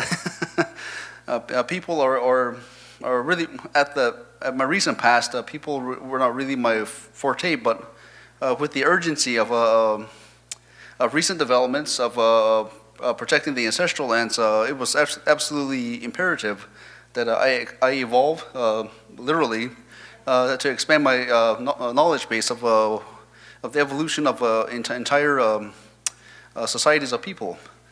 With, with, with the, the, archaic and Fremont age, they're, they're synonymous now, and to the early basket maker ages, here, here is um, what the, um, the ancestral Puebloans hunted. Uh, th- there's petroglyphs right here uh, uh, that consist of the American mastodon and the American mammoth, and And with the figurines in the basket, uh, uh, they're discovered in the oldest Pueblo ruins over there by Salt Lake City, which belongs to the Pueblo of Zuni, actually, that have that age, that carbon age of 9,000 BC. Um, right, I don't have any pictures right now of, uh, of uh, some of the Huarcachinas and uh, uh, ancient Puebloans uh, hunting mammoths, as uh, I do not have permission for the non-secular leaderships. Um, the, the, old, the oldest kivas um, are still very active as the spring equinox approaches us. Many of them are, are actively using the altars within the Bears Ears National Monument and the Grand Staircase Escalante, and along with the Greater Chaco area as well. So, so it's, it's kind of, we live in an extraordinary time that we're slowly uh, kind of leaking and sharing uh, th- this very sensitive information um, uh, due to the urgency of, uh, uh, of, of uh, the, the contemporary times and we're trying to do the, con- the conservation. Along with the Fremont age, we, we, we uh, there are the Puebloans uh, uh, with, with, the, with the potatoes and the maize right here, the, the agrarian technology uh, began to uh, uh, appear along with the min- uh, min- minerals uh, and the, the natural ochres were being uh, experimented with to for literal, literal, literal survival um, with, with, with the recent discovery of uh, uh, maize and, and the, uh, um, uh, the potatoes, uh, the, uh, the ancient potato, uh, um, um, you know, the, the evolution uh, with, uh, by recent advancements uh, from the from the Pueblo altars, uh, this agrarian technology appeared. So, so, so these crops can be, um, you know, um, drought and pest resistant. And uh, we're lucky that Utah Diné Bikéyah is actually um, promote, promoting with the Natural Foods uh, Directive uh, that, that Ms. Cynthia Wilson is, is uh, uh, heading up that department. With the archaic, uh, these are the archaic Pueblo ruins within the Bears Ears National Monument. The picture right here is this is a, um, west of Blanding, Utah. This is Butler Wash Pueblo. And uh, uh, with, the, with the new uh, ages as well, with the with the BCE before Common Era, this is the pre. This is nearly about a millennia before uh, European contact. Uh, this this pueblo had uh, two, kivas and uh, um, two, uh, two granaries uh, with, with some houses down at the at the bottom of the wash right here, and these this level of um, uh, of the pueblos are, are I think. As a modern Jemez man, um, it, it strongly resembles where the where the non-secular leaderships uh, probably uh, uh, uh, lived, as yeah, the, these small houses. Uh, um, there's a location of a small kiva right here. The, the close proximity of, of um, these houses to these holy altars. So, I, so it's based on an older design. Whereas if you see around kivas in ruins, that that's a more older design. As the contemporary pueblos, like us in New Mexico, and uh, we uh, we have evolved into the more rectangular uh, square uh, uh, variant. Just about 20 miles down south of Blanding, Utah, we have, when I used, to, I used to be a paleontologist with the Bureau of Land Management in Moab, um, uh, th- these kivas right here, and you can see the petroglyphs that are still intact right here. Uh, this is maybe about 500 years uh, um, uh, uh, younger than the, the Pueblo in Butler Wash. Uh, with the petroglyphs right here, um, you, you have these, uh, these cutting areas, and I'm, I'm really kind of kicking myself. I took this picture just right, uh, just right um, uh, next to the picture. Uh, there was a, a, a dinosaur footprint that was posted along with the deities. Uh, it's a, large three-toed uh, uh, uh, carnivore um, that was placed upon that hearth and, and um, a cutting area, meaning that the, that the, that the, the old Puebloans, they, they were familiar with the, with the ex- extinct biota, and uh, they, they knew about the fossils and dinosaurs as well, along with the, with the present bison and uh, elk and, and uh, deer that they were hunting. So they, they were, uh, so we know for a fact uh, even in the in the uh, more recent pueblos uh, that, um, that that the worlds uh, before us they they existed because I was told by the non secular leaderships we were all not meant to be live together.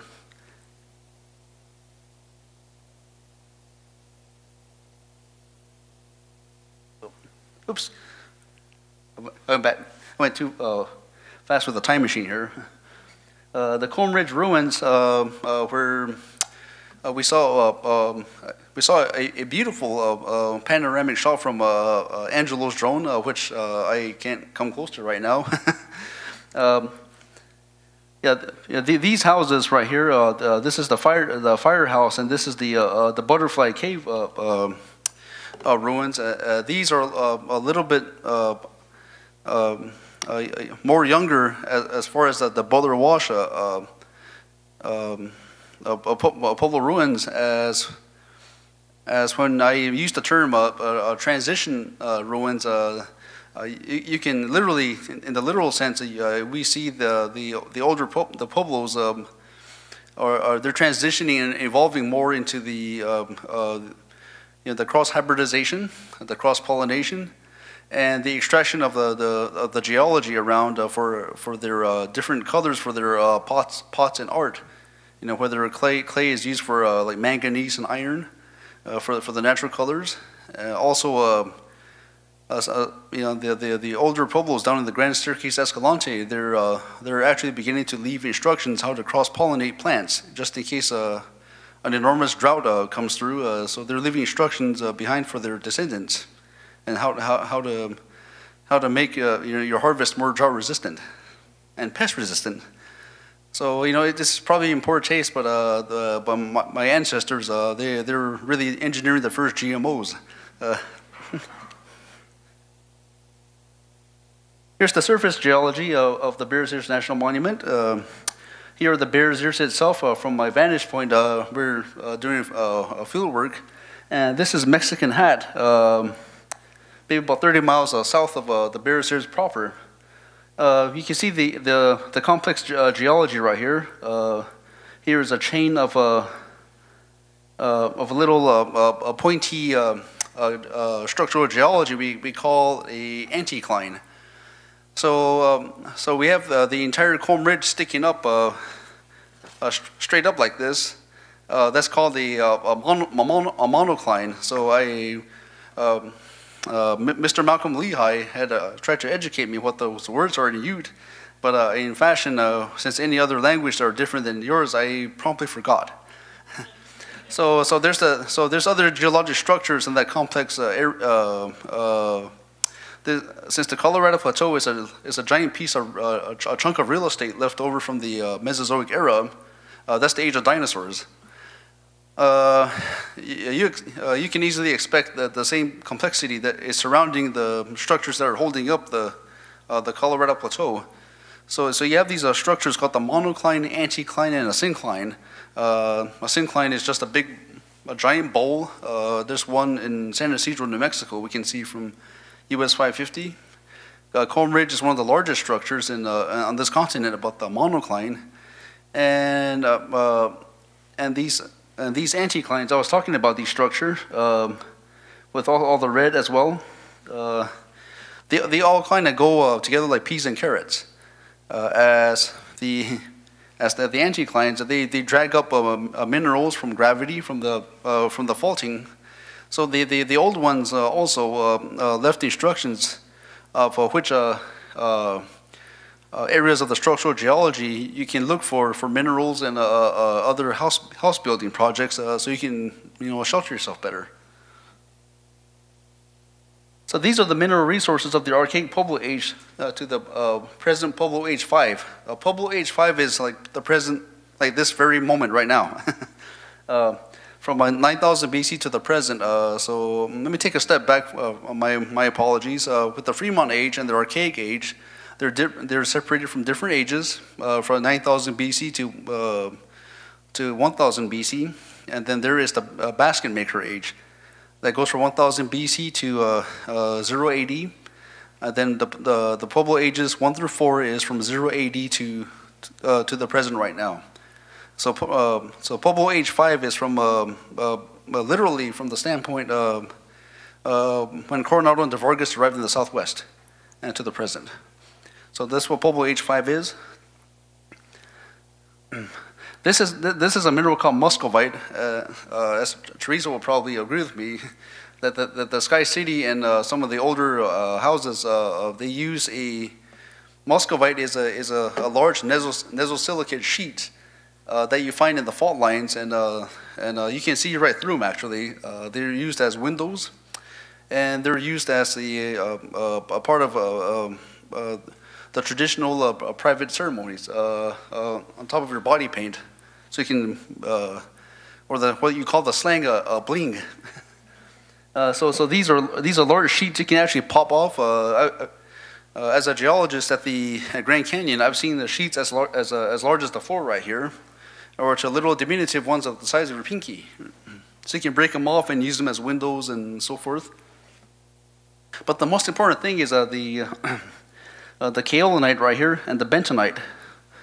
The kaolinite and bentonite are called nesosilicates, and that's what they make up the Badlands. Like in South Dakota, the San Juan Basin, uh, in the northwest New Mexico, uh, the Badlands you see like uh, I mean, in movies, uh, you, you know, uh, like in, by Pine Ridge, uh, Nebraska, Kansas. Uh, it's because of a lot of volcanism. when the potato was first being cross Uh, hybridized and cross pollinated uh, uh, during the 1000 BC and so forth uh, they, they, were being grown uh, uh, from the, the, the, altars at the Grand Staircase Escalante and the, the Bears Ears National Monument. Um, the, the, the, even my, the, my great grandmother told me one time that they, they ate vegetables mixed in with the um, mixed in with the, the two minerals of, uh, that they separated from the, the badlands. Because remember that that's the only thing, that's the only way the, this nesosilicate be turned into calcium. So back then, you know, in the eight, late 1800s, uh, you, you, uh, around Sky City or, or San Felipe Pueblo or Zuni or Taos or Jemez, you know, you can just you just you just can't go to the local the Dollar General and get milk. Uh, th this is the only way you can uh, mix in with your vegetables to get your uh, uh, calcium supplement. So so basically, you're eating like a, a, a mini porridge of a, a, clay with your vegetables, so to reinforce your mineral intake. And the altars at the, the Bears Ears and the Grand Staircase, uh, once again, there's, there's a, a, a, um, instructions on how to do that as well. Here's the, uh, uh, the present, um, uh, the, the Obama administration uh, with the green outline, uh, what, the, what the original designation was, and here is the, the, the kind of the profaning, the obscene, the Shash Jáa and Indian Creek um, boundaries. Uh, the, um, as, as far as we know, the, the Obama administration, uh, uh, uh the proclamation is still the law of the land. And uh, uh, with the new boundaries, with the new boundaries that, that complete, reduce it by 85%, uh, the, you know, as a, you know, as a tribal member from the Pueblo Jemez, I, I'm, abs I'm absolutely apprehensive about you know the, the fate of the uh, of, of the Pueblo ancestors that are still buried out there, and also the the data, the empirical knowledge of uh, what's in geology and vertebrate paleontology that we need to kind of create our, our own algorithms uh, to combat global warming. Global warming, the data. Uh, it's absolutely imperative that we protect it. Uh, last month, I was one of the geologists that was that was contacted by the U.S. military because the uh, the, the, Pentagon is just as weary uh, to to help them reinforce the infrastructure of uh, of the in the event of the scenarios when the the glacial melt is over overrunning the East Coast and the West Coast as. So they're, they're asking us for our data to, to, so they can come up with their own uh, uh, um, infrastructure plans uh, just in case the flood of refugees uh, started going inland. So, so the uh, so the in the reduced area right here, there there are over uh, 1,000 kivas uh, that still haven't been, uh, as far as we know, that still haven't been inventoried, and the the the unimaginable amount of of the vertebrate fossil record. And the, the sediments that we all we collect as paleontologists uh, to to study the pollen and uh, the little uh, uh, pill bugs or other invertebrates uh, that are very susceptible in the fossil record, uh, in hopes that we can. Uh, uh, in the hopes of, that we can learn more of what the climate change was and apply it to the present. Also, the with the uh, also with the mass migrations and the transition ruins, uh, the the climate change and the drought has also been a, a, a major factor in uh, the the the uh, the ancestral Puebloans uh, uh, are forced, forced to move as well. So we were hoping to learn about a pattern that Mother Nature has, but unfortunately, with the, with the, Trump administration, with that severe reduction, it'll forever mutilate uh, uh, the, the, fossil record and what the, what the vast instructions are still left unopened uh, in the kivas that are buried.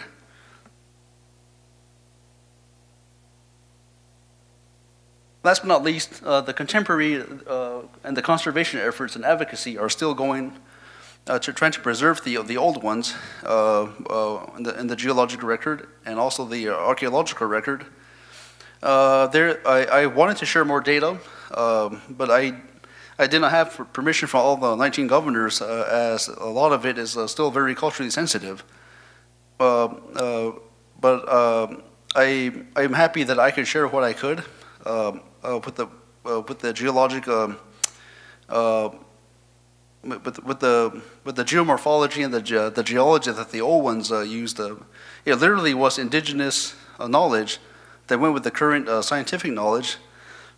As I, I, am honored that uh, that uh, the, my colleagues in the larger museums are asking me what the what my what our ancestors thought of in, in certain cases of into user data. So so you know so not just hard up empirical data, they're, they're beginning to ask the, the indigenous uh, uh, knowledge in that aspect as well. And, and just to show how far-reaching the, the bear, just to show how, just to demonstrate to you all graphically uh, uh what the uh, what the what the far reaches of the Bears Ears National Monument is. Here, here's myself and a, and a colleague, Cassandra Begay, at the last year's Bears Ears Youth camp and uh, the community outreach. And here are, are two, my two daughters right here. And in the background, that's a modern day um, uh, Jemez Pueblo uh, in the background. So, so with, with, you know, with myself and Cassandra and you know the girls, we're all we're all uh, uh, descendants, and uh, it affects us uh, what the fate of the Bears Ears National Monument is. Last but not least, uh, here is a quote I have um, uh, during the Exposure magazine that Angelo, uh, I'm pretty sure we've run out already at, at, the table on the third floor, um, which I say that it is my obligation as a direct descendant from the ancient Pueblo people who have our origins at the Bears Ears National Monument, and as a scientist to protect the ruins for my children and their children. Uh, the Bears Ears is a peaceful area to come together with our contemporary siblings, the Diné and Ute people, it is common sense, decency, and respect to not harm or mutilate the footprints of our ancestors. It is also right that monuments and public lands be protected for our fellow American citizens to be used and enjoyed by them. Uh, the Bears Ears National Monument is a gathering of peace. The, the other uh, uh, little side note that I forgot to mention is the meadow on the east side of the Bears Ears Mesa is that's where all all the 21 governors of New Mexico that, that was the first time uh, they, they met uh, this, this, uh, this immense civilization, the Navajo, uh, to, to, come, to come to terms with peace. And that was the, it was that Bears Ears medal. It was the first time they ever met. Thank you.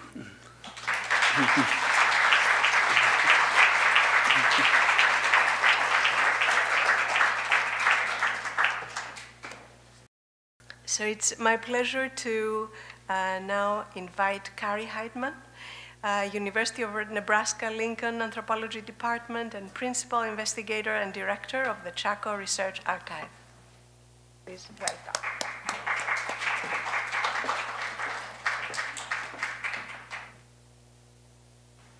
Couple of notes before I start. First is that in the program, uh, the title is declarative.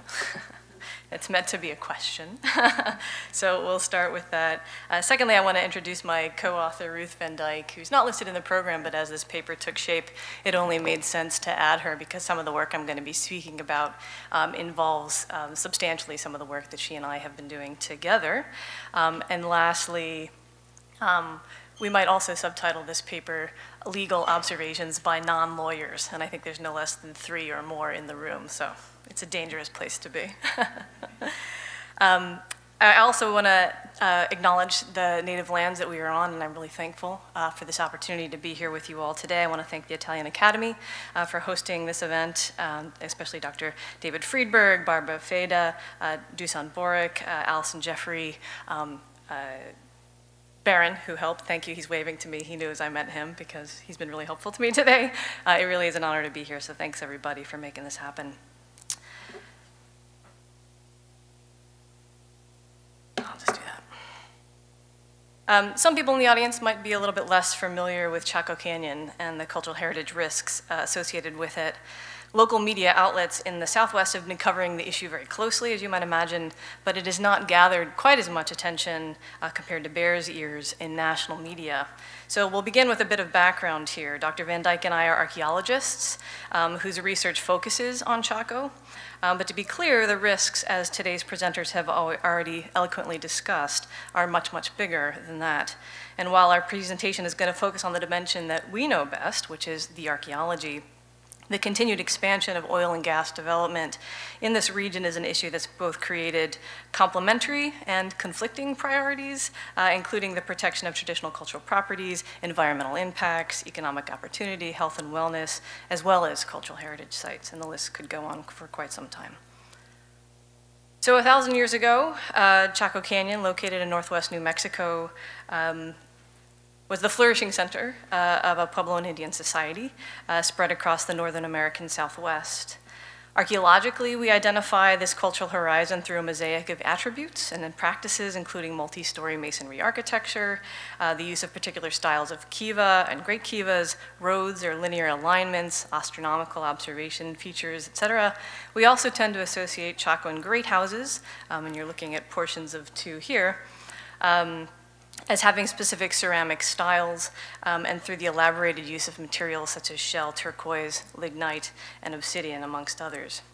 Uh, at its zenith, the cultural center focused on Chaco Canyon encompassed more than a dozen massive multi-story houses built of stone and wood, or what we call great houses, more than two dozen great kivas, or large subterranean, uh, subterranean um, ceremonial structures, and hundreds of smaller pueblos all crowded within a roughly two-mile stretch along the Chaco River.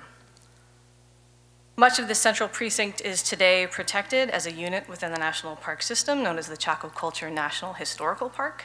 Um, and I should note that while you can't see it here, there are actually two other parcels that are discontinuous with the, um, what you're seeing there. But the Chacoan culture was far more expansive than the footprint of today's national park. It included an ancient sphere of influence as large as the state of Indiana and was comprised of about 260 offshoot communities connected in some cases through formalized roadways or linear alignments and networks of intervisibility that facilitated uh, uh, that was facilitated through prominent elevated locations on the landscape. Um, during the 9th through 13th centuries CE, these places were settled by the ancestors of contemporary native people and are today considered sacred places, as we've heard about from many of our speakers today.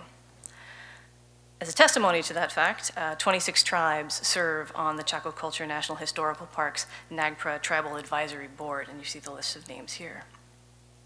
Chaco Canyon has been protected as a site of national uh, patrimony since 1907 and became a United Nations UNESCO World Heritage Property in 1987.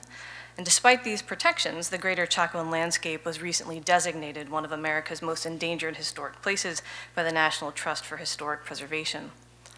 Ongoing energy development in the Mancos uh, and Gallup shale deposits of the San Juan Basin threatens our ability uh, to fully comprehend the Chacoan cultural landscape or determine what relationships existed uh, amongst the contemporaneous town and village sites that constituted the greater Chacoan world. The challenge of identifying, documenting, and protecting all of the cultural resources that comprise the greater Chacoan landscape is magnified by a complex tapestry, and here we get to the legal stuff, uh, of legal landholding entities within this larger area. And I don't know how much of that you can see, but down here at the bottom, you're seeing the color coding here for the various land um, uh, holding agencies. Um, this is a, a BLM map. Uh, the BLM Farmington Field Office, which is part of what I'm going to be talking about, um, their district actually is bigger than what's shown on this map. Um, this uh, dotted line here is this area um, of foreseeable development, uh, which is part of uh, what's uh, at stake that I'm going to talk about, Ruth and I are talking about, um, which encompasses both farm, BLM property, but as well as other districts besides the Farmington Field Office, and as well as other jurisdictions. And I can zoom in here little bit. Okay. Uh, cultural resources within the discontinuous boundaries of Chaco Culture National Historical Park um, are protected, but the full extent of this ancient landscape is today managed by different agencies and individuals, as this map illustrates. The planning area, um, that's, that's the process the BLM is engaged in right now, the planning area is comprised of federal, state, and private lands, as well as Indian reservations overlying the Mancos Shale, uh, Mancos Gallup Formation. And while Dr. Van Dyke and I are not lawyers, we should point out that the situation is actually far more complicated still, given that some landowners like Navajo allottees uh, may own the surface rights, but the subsurface mineral rights are held in trust by the Federal Indian Minerals Office. And these are referred to as split estates. And if you could see that, maybe you can see the, the hatch lines here are showing you uh, portions where BLM is in fact controlling those subsurface mineral rights. So returning to the title of our talk, um, the first divergence um, that we might uh, raise in our observations uh, engaged in this work is that the complexity of landowners and landholders actually are really confounding in all of this. That estate uh, ownership diverges both horizontally and vertically. But let's telescope out a little bit further and to place this all in a bit of a larger context. Um, what cultural heritage is at risk and why, again, from an archaeological perspective. So the Bureau of Land Management um, has a multi-use mission. Uh, the Farmington Field Office of the BLM, which is part of that map I just showed a moment ago, manages roughly 4.2 million acres. In February of 2014, the Farmington Field Office embarked on creating the Farmington Mancos Gallup Resource Management Plan Amendment and Environmental Impact Statement and the scoping and preparation of a resource management plan um, and the EIS was initiated in February of 2014 and has gone over two scoping periods, which has involved lots and lots of meetings, both public um, and chapter houses and on. Um, and they've also publicly solicited input um, so anyone could uh, provide input on this process. So the goals of the RMP, I'm going to kind of try to go quickly here. Um, they're trying to revisit um, uh, their, their man, uh, management plan to reassess, uh, to update management of BLM administered lands and mineral estate in the Farmington Field Office. That's what the FFO there is and that the decision area is in fact quite complicated as that map uh, tried to show. Um, it's encompassing both, uh, uh, Teresa Pasqual mentioned earlier, much of this land, over 90% is already leased. Um, and so it's also pointing out here in this lower section, which comes from one of their other more recent publications um, on their newsletters that they send out on these updates, um, that they're encompassing this reasonable foreseeable development area, which is taking in other, other lands as well uh, as recommendations to those land managers about how they also might proceed. So then they published their scoping report. This came out May of last year. And this, I won't go into detail, but this is kind of gathering both, they've organized it in their two volume report so far, um, thematically categories that they've heard in terms of feedback for the planning issues, as well as additional issues that they heard from people about. Um, and you can just kind of skim the list here, cultural resources, noise, climate change, public health and safety, uh, environmental justice, socioeconomics, uh, and so on. So this is their kind of bulleted list that's at the front of the report, and there's much greater detail uh, embedded in volume one of that report.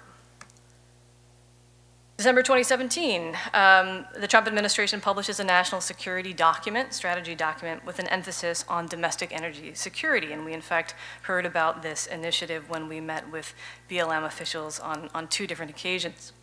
Um, and I'll draw your attention, this is pillar number two um, of that national security document, the first that was released by the Trump administration.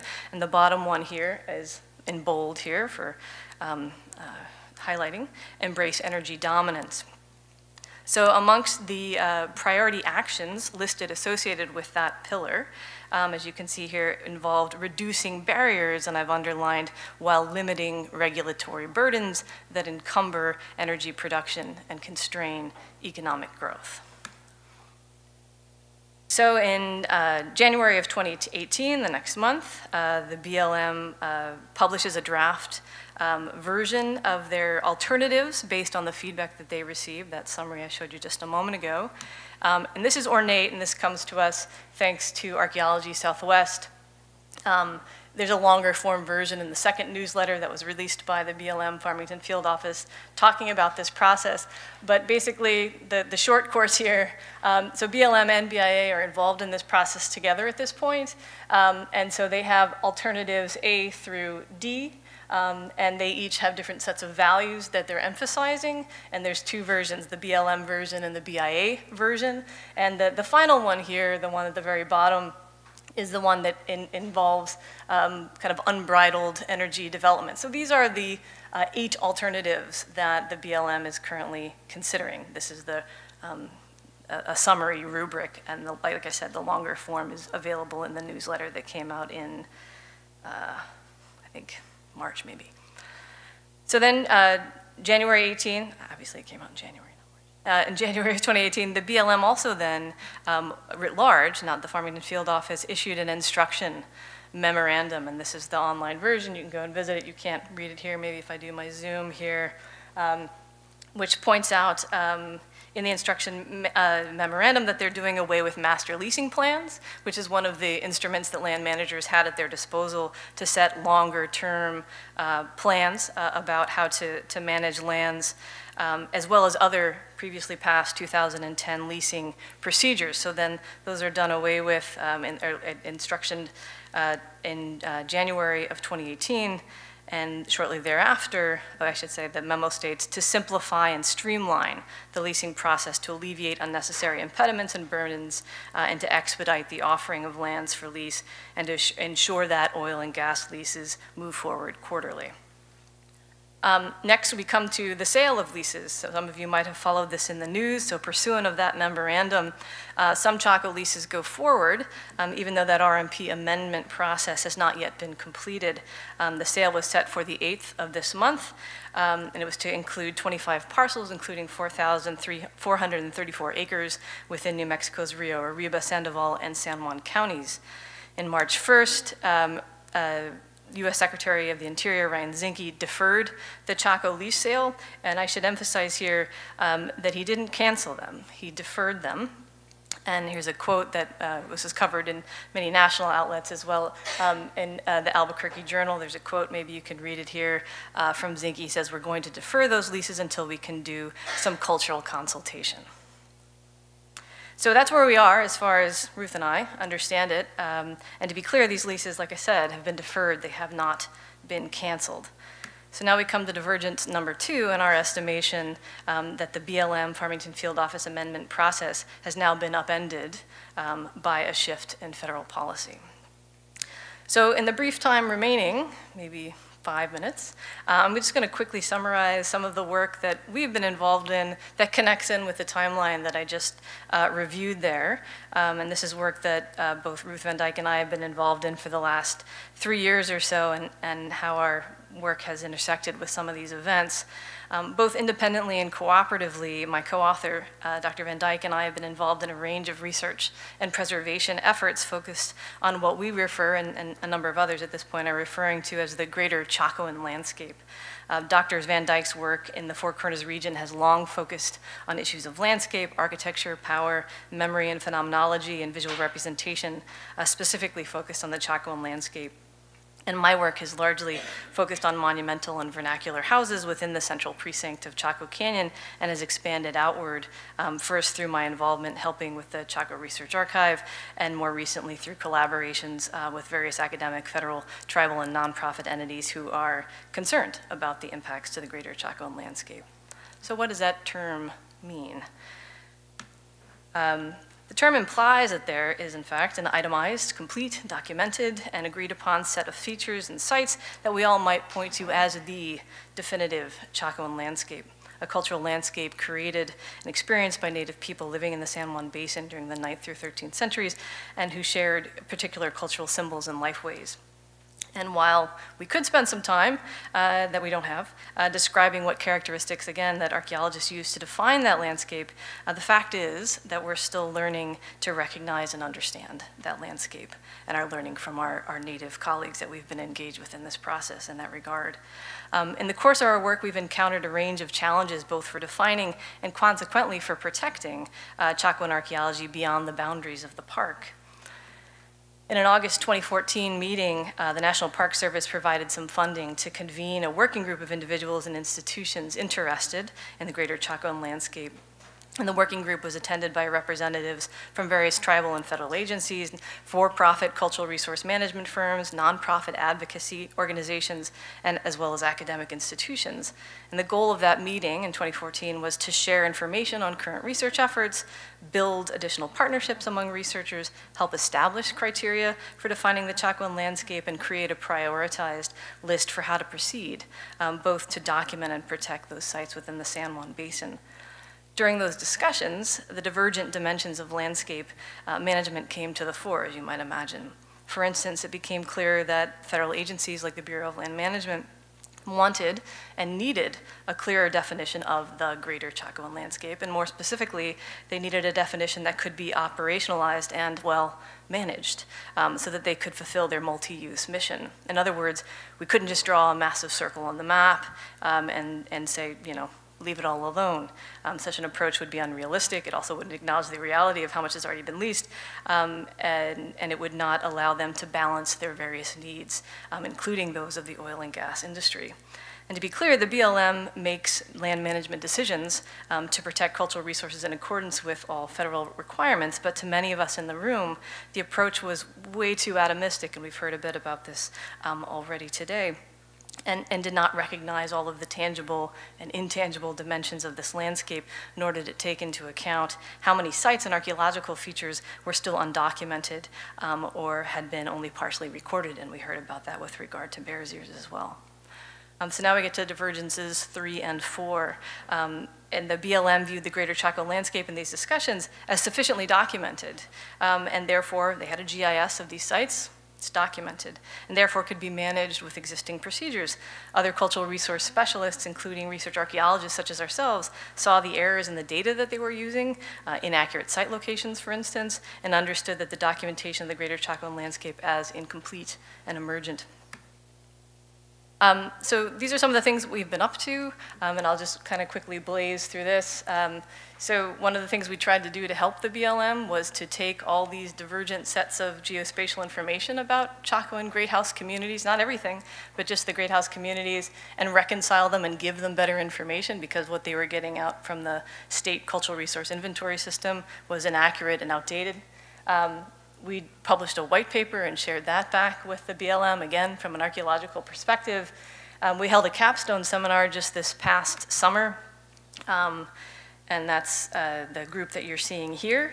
Um, this was a scholarly conference of leading uh, researchers in, uh, to explore the anthropology, archaeology, heritage, and living use of Chacoan landscapes. And it's ultimately leading to a scholarly book and some open access web materials that are in fact in uh, native languages for uh, those communities. The online materials include video segments involving members of Pueblo and Navajo descendant communities talking about the importance of protecting the greater Chacoan landscape from their perspective. Um, and the LIDAR demonstration project I won't mention.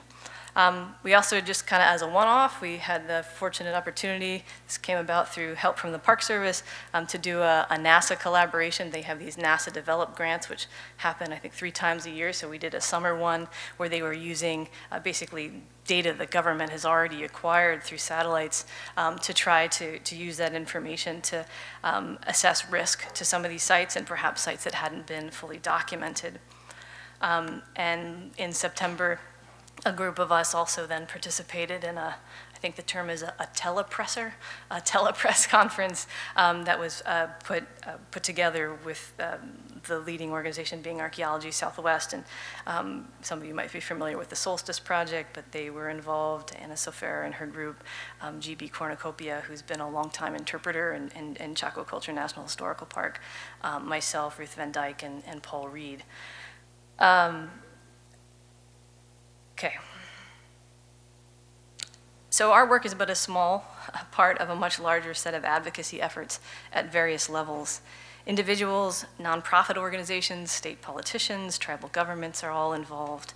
And for instance, in September of last year, the All Pueblo Council of Governors passed a resolution calling on the Department of the Interior to, quote, complete an ethnographic study of cultural landscapes within the greater Chacoan region, end quote, emphasizing that these places, quote, continue to be places of prayer, pilgrimage, and living connections to our ancestors. Uh, Archaeology Southwest, who I've mentioned once or twice, is a remarkable nonprofit organization that continues to be deeply involved in these issues from an archaeological preservation side, both in terms of the Bears Ears uh, and the Greater Chaco landscape. And they've been coordinating partnerships with multiple organizations and are also currently helping to push for an ethnographic study that you heard called for by Zinke himself. Um, under our current federal administration, there are many issues to fight for, um, and so many core values that seem under threat. Um, and as Chaco scholars, Dr. Van Dyke and I have chosen to focus our energies on what we know best, um, fighting to raise public awareness and convince legislators to protect, not destroy, the fragile and important legacy of northern New Mexico's ancient indigenous inhabitants. And the fight is far from over. And, and so I'll just um, and there have been a number of organizations that are well worth um, your investment in terms of resources and time and advocacy. I will add to that growing list of, uh, of worthy organizations that have been mentioned, um, Archaeology Southwest, the San Juan Citizens Alliance, uh, and the Southern Utah Wilderness Alliance. And I'm just the URL here for the San Juan Citizens Alliance, they have a project that they've put up called Faces of Chaco that you might be interested in checking out. Thank you very much for your attention.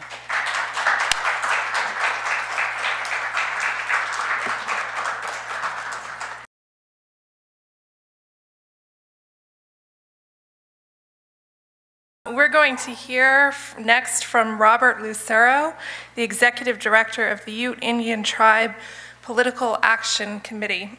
He's going to give a pre presentation called How the Ute Tribe Has Used Mass Organizing Tools to Protect Tribal Sovereignty. Following his presentation, we're also going to ask the um, speakers to come back up and we're going to have a brief discussion with the audience. Thank you. well, good evening, everyone. Uh, my, uh, we just celebrated a uh, birthday party for my son. My, my two-year, he just turned two, um, and he's very into choo-choos. And his favorite part of the choo-choo is the caboose. So I'm the caboose for today's uh, proceedings. Happily, I missed the caboose. Those of you old enough to remember cabooses. Um, so. Uh, so my name is Robert Lucero. I am the, uh, the founder and uh, director of the Ute Indian Tribes Political Action Committee. Uh, I have a consulting group that uh, I call the American System Group. the American System is a tradition that Alexander Hamilton, an alum from Columbia, was one of the founders of. The, the tradition, that's sort of a better tradition in U.S. history. Um, when I met the Ute Indian tribe in the summer of 2016, I had just founded my own political action committee that I called the New Deal PAC. Uh, so I'm an advocate of the New Deal, uh, Franklin Roosevelt's New Deal. Uh, I think there's a lot of uh, exciting elements in there um, for my generation, the generation that comes after the boomers, uh, and the younger generation that we see now in, in, in Parkland and, and, so forth, with the Parkland um, demonstrations. Uh, so when I met the, the Ute Indian tribe, they wanted to possibly help my political action committee um, in going after Rob Bishop in District 1 in Utah. Um, at my suggestion, I said, well, it might be better if we just started a PAC with your name. That way you could fight back in your name, and it would be uh, a lot more attractive, I think, to outside supporters. Uh, they weren't so sure uh, at first, but with a little uh, uh, encouragement, they went ahead and invested in starting the Ute Indian, Ute Indian Tribe Political Action Committee. So I am honored to uh, uh, be the director, and um, I'm also honored, of course, to be here. Thanks. I forgot to thank you when I came up. Uh, thanks to the uh, Italian Academy and Columbia University for, for having me and, and for having this wonderful event. So um, this is uh, something new in Indian country. Um, we're very proud of this, uh, and I'll just tell you a little bit about it. I don't have a uh, as grandiose uh, pictures as some other folks have had and graphs and such, but I just want to give you a little introduction into what we've done and, and invite you to look further into what we're doing in the future. So as I, as I said, the origins of our political action committee were in, in 2016 to uh, attempt to influence the election. Um, if you don't know, Utah is a very um, red state, as we say now. There's four congressional districts, and they're pretty solidly Republican. The first district, uh, as Raleigh mentioned earlier, is the, the top half, or top, not half, the top uh, quarter of Utah, and it does include the reservation. But I would say the majority of voters, by probably 80%, are white Mormons or, more, or, or white Utahns. um, and so they, uh, the margins there when it comes to the elections are pretty much like that, 70-30. Um, so we, we decided, uh, the Ute uh, Tribe Business Committee and our PAC to make uh, uh, TV network um, ads, and I'll show you one uh, at the end here, um, and also some radio ads. But we had a lot of mass outreach. We had a petitioning campaign that was a letter to um, the Speaker of the House, Paul Ryan, asking him uh, in his capacity as a speaker to stop the actions of Rob Bishop and Jason Chaffetz at the time, um, the two Utah congressmen who were pushing the public lands initiative that Raleigh spoke of earlier. Um, that was, of course, giving Paul Ryan the benefit of the doubt, um, appealing to his position more than his personality. So, um, in well, to, to, so Rob Bishop was reelected in the 2016 election. Um, he defeated uh, Peter Clemens, and um, I'll tell you a little bit more about that toward the end. But as part of our campaign in 2016, we collected over 70,000 signatures, um, hard copy through organizing, like you see here, and um, online as well. This is a uh, more recent picture, actually. Uh, so it's not this petition campaign, but it's a newer petitioning campaign that uh, tribal leaders are helping with. So these are actually, uh, there's about four or five tribal members in this picture. This is at the Sundance Film Festival in Park City this past January. Uh, I don't know how you can, if you can make out the signs, but they say protect Ute lands, respect sovereignty, and there's a wanted sign of uh, Rob Bishop for trying to steal Indian lands. If you don't know Rob Bishop, this is a nice juicy quote from something he said in 2017 at a, oops, at a, at a, whoops, at a, at a town meeting in Vernal, which is not far from the Ute Tribe Reservation. Uh, if anyone likes the Antiquities Act the way it was written, die, I mean stupidity out of the gene pool. So this was actually on tape, and it was used in a Salt Lake Tribune uh, editorial by the paper endorsing the, uh, the Peter Clemens campaign over Rob Bishop um, a direct quote. I read this quote on a radio show and they said, Wait, where did you get that from? so they couldn't believe it themselves. In 2017, the Ute, Ute PAC was more active on the Bears Ears issue. Um, we're in this picture here, these signs that say respect and protect. Um, they say respect tribal sovereignty, protect Ute lands. So we've been participating in the rallies that are, that are being held at the state capitol or have been held uh, we've been doing grassroots fundraising uh, from a lot of individuals, uh, not just in Utah, but nationwide. There's been a lot of attention to, uh, to Ute PAC and to what the Ute tribe is trying to do on uh, protecting the sovereignty and on Bears Ears. and we've, of course, um, gotten more media attention for not just the Bears Ears issue, but the public lands initiative uh, issue that, that Raleigh mentioned earlier, for folks who might not have been here earlier, just to review um, briefly, the, the Public Lands Initiative was really the major point for the Ute Indian tribe in 2016. Uh, there was an attempt through Congress by Rob Bishop and Jason Chaffetz to take uh, 100,000 acres away from the Ute tribe outright and almost uh, half a million acres um, in, in so-called special management uh, clauses in the legislation.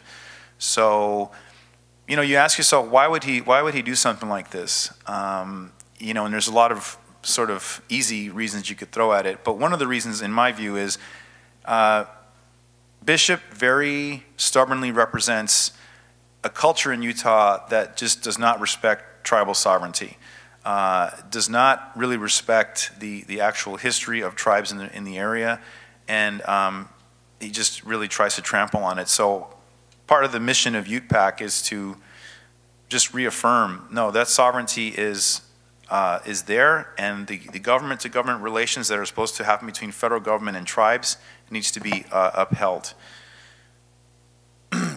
so UTPAC in 2018 is, uh, we're committed to a Democratic majority in the House. Uh, we need to swing 24 seats to get that done. Uh, that would remove Bishop from his position as the chairman of the Natural Resources Committee. Uh, so I know this is supposed to be not the most political, I don't know, I don't want to turn it into a uh, purely political event, but I have to say this, we are a PAC. we also, um, we have a new sort of subgroup that's on the reservation itself, uh, because if you don't know, I'm not a Ute tribe member. Um, I uh, have a different personal history, but um, you know, my family is an old Southwest family. Um, we're kind of entertained by these uh, stories of, of Ute pioneers in the, in the 1840s. Um, my family, of course, like a lot of these other uh, uh, native folks, we were already there. My newest immigrants on my name side came, came to what's now the United States in 1590, my European side. So 30 years before Plymouth Rock and all that. So otherwise it's Mexican Indians and, uh, you know, Southwestern Indians. Um, so I'm not a member, but these are two, two ladies who are, uh, Jasana and um, uh, wow, I'm forgetting her name right now. Sherry, I think. Um, pardon me. Um, uh, is her last name, and I'm, I'm Shelley, excuse me. Um, the, uh, so we have the committee on the reservation, and these are two of the officers of a group called the Ute Land Protectors. So their role is uh, to get more Ute tribe members um, educated on voting, voting rights and uh, getting registered to vote, and um, we're also going to be looking for more help from uh, local elected officials to help our uh, tribal members uh, be, you know, more active in, in politics. But I, I, can tell you that I, I was just at the uh, tribal meeting, a quarterly meeting as they call it, uh, meeting with a lot of the membership, and there was just a lot of excitement about and a lot of pride in, in having a political action committee uh, for the tribe. The, the, the purpose um,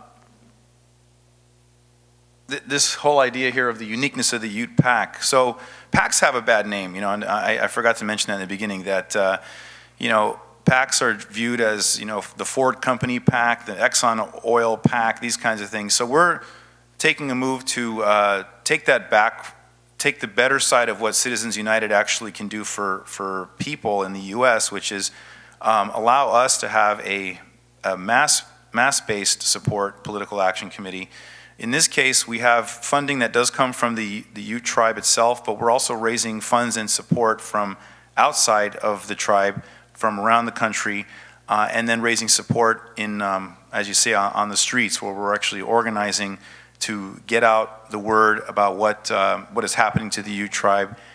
So, um, as it says here, it's, it's a vehicle to build popular support for the issues that the Ute tribe is, uh, is fighting. So, that's, that's pretty much what I had. I, I wanted to just show on the, uh, up here, this, this is the article when the Ute PAC was established. It says that the Ute tribe declares political war. Um, I would say it should have said the Ute PAC decides to fight back because it wasn't like the tribe or the Ute tribe. The Ute tribe didn't just come out of nowhere and establish this PAC. It was an attempt to fight back against Bishop, and it actually it actually has worked. His contributions from Indian tribes have uh, collapsed since 2016. He used to get some, some funding because he's the chair of the resource committee and the subcommittee on Indian affairs. So um, tribes wanted to essentially uh, keep him somewhat happy. But after we founded this PAC, we, we, we actually sent out a letter saying, uh, if you're going to contribute to him, you should match that to UTPAC. They didn't do that, but they stopped contributing to him in 2016, so that was fun. Uh, this is this is our, our TV ad. Um, we spent more money on getting it on the air than we spent on producing it, so forgive me if it's a little, uh, uh, you know, not not the best quality, but it was one of our first runs. Can you play it? Not since the 1800s has the government tried a Native American land grab like the one buried in Bishop's Utah Public Lands. Bishop want to include Utah's original residents, Ute tribe, in the conversation. Bishop refused to partner with the tribe to draft a bill that couldn't pass Congress because he wants control over their land. He even tried to pit the tribe against Ute school children. That's just wrong. Ute students benefit the most by keeping tribal lands. Don't send Rob Bishop back to Washington. Elect Peter Clemens. Authorized and paid for by the Ute PAC.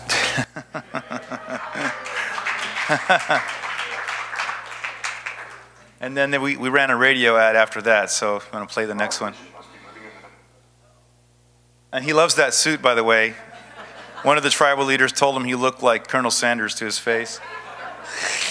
Picture this a man who stands with Donald Trump. That man is Congressman Robert Bishop. Most officials have pulled their support or never did endorse the Donald. Bishop has made it known that he still supports Donald Trump even after Trump's vulgar comments about women. Congressman Bishop chooses to support a man with no respect for women. Utah needs a change. Utah needs someone that says no to Trump. Vote oh, Peter Clemens for Congress. Not authorized by any cabinet or cabinet Pay for my peace.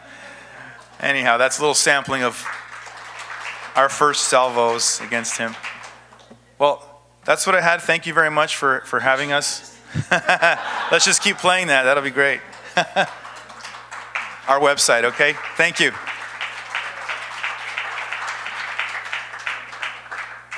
That's a cry which needs to be made, which, which needs to be heard, because we need our representatives, assigned or elected representatives, those who are supposed to be on all our sides. We need them to be present we need everybody to listen to all the extraordinary nuances of the discussion we've had today. It's been approached from every possible angle, from water to textiles, from art to buildings, from music to people's rights, from nutrition to um, ancient climate. Um, these are all things that are represented by the kinds of discussions, by the kinds of discussions we've had today, and the kind of losses that we face in indigenous places and uh, represented so well by Bears Ears and Chaco. There are many, many others, Grand Canyon, Escalante as well, of course. So I could not be more grateful to you, and I'm saying this now before we all leave because I wonder perhaps the panel can come forward and just, we could perhaps, we'll have seven and a half minutes of discussion, because that's all that Elsa, our great Elsa and Onno have been great. I have to thank you for your excellent uh, moderation of today. That's all they've allowed us. But perhaps we can ask ourselves, what are the next steps? Let us not lose the chance which we've had this afternoon. And thank you all very much for being here. It's been very important that you've come today and sat through a long day of these rich discussions. So Elsa and Onno, why don't you take over from me? But thank you in the meantime.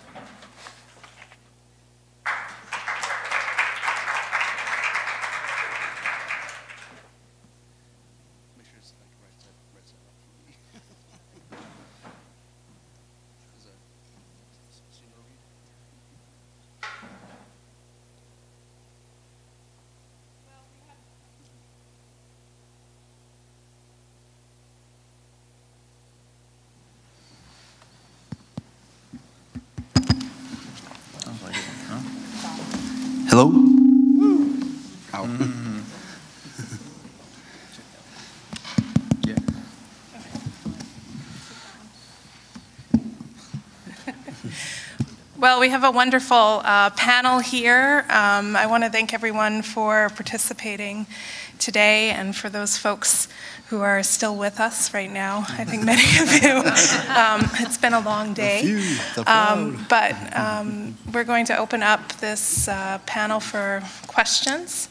And hopefully we can have about five to 10 minutes, I think, for, for answers. All right. Go ahead.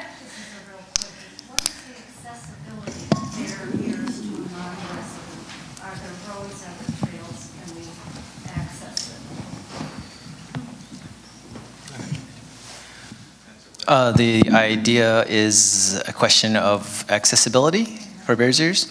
Um, that's a good question because I think it really depends on um, what you're intending to do. A lot of people are, you know, hiking, camping, biking, uh, just doing like a lot of kind of outdoors related activity. More in the northern part, it's a lot of climbers, uh, especially um, towards Moab and Indian Creek area.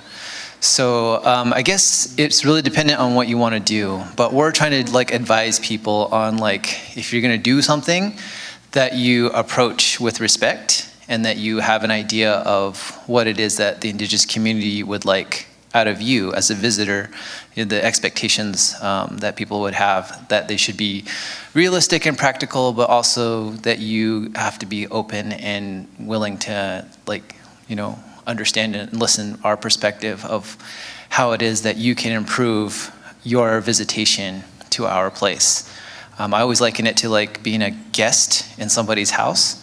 So you want to respect the house and re respect the, the host.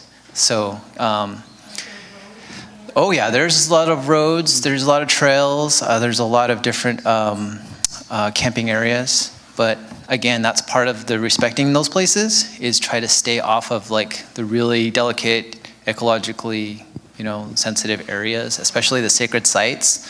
Like, you know, don't touch them, don't disturb them, don't camp in them, don't, you know, take them home. Like all these like basic things you would think that people would know about don't, and they don't ask. You can't really think of it as like a uh, like a sort of um, streamlined, organized, legitimized space. Um, because you know a lot of people do think that because of a park thing, but we're not trying to be that. We're trying to actually encourage human interaction with the environment in a respectful way, which Native peoples have always done. But um, we're trying to dispel that whole kind of idea about this is a park that you come and visit at a gate that charges you all these things. And you know it's just it's not the same ideal. Um, this is, is a, an indigenous approach to the land as opposed to like a, a western linear methodical approach. Yeah it's a long answer. Anyone else like to answer that? Uh,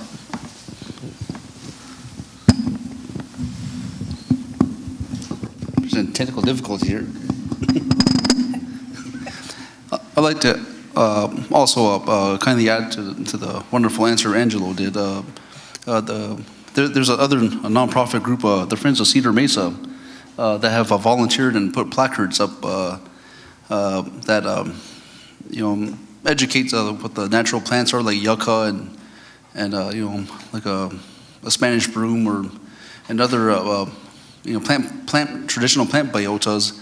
And with the BLM and the field offices in Monticello and Moab, uh, they have well-established trailheads uh, to encourage um, uh, visitation of these ruins. Uh, the, the, there was a reason why uh, on the on the on the PowerPoint uh, I showed those pueblos. those are the ones that are open to the public. what what was encouraged, allowed to have visitors to educate themselves. but the, as Angelo had pointed out, and actually all, uh, everyone as speakers have pointed out, that people live in them and people are still buried in many of them. Uh, they're, they're, that's where they're, they're intentionally uh, uh, closed off. But I encourage to visit, uh, all of you to visit Utah or New Mexico or Arizona and, and Colorado to, to visit the, the all the ancestral sites. Thank you. Next question. Go ahead. Mm -hmm.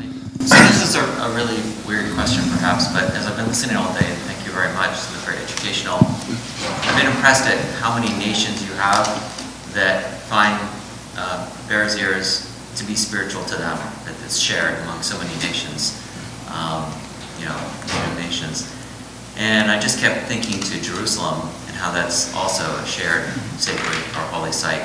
And obviously with the UN and cross-national and cultural um, connections, I just wonder if anybody has made any kind of connection or established any relationships in terms of another sacred site in, in the world.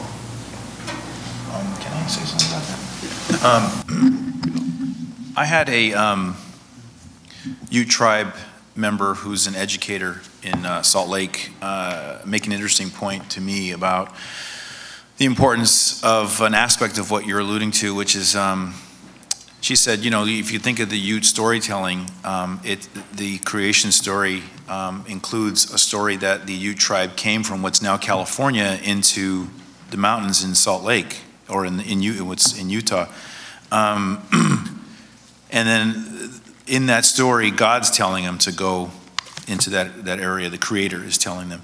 Uh, of course, there were other people who were told by God to go west in the 1840s.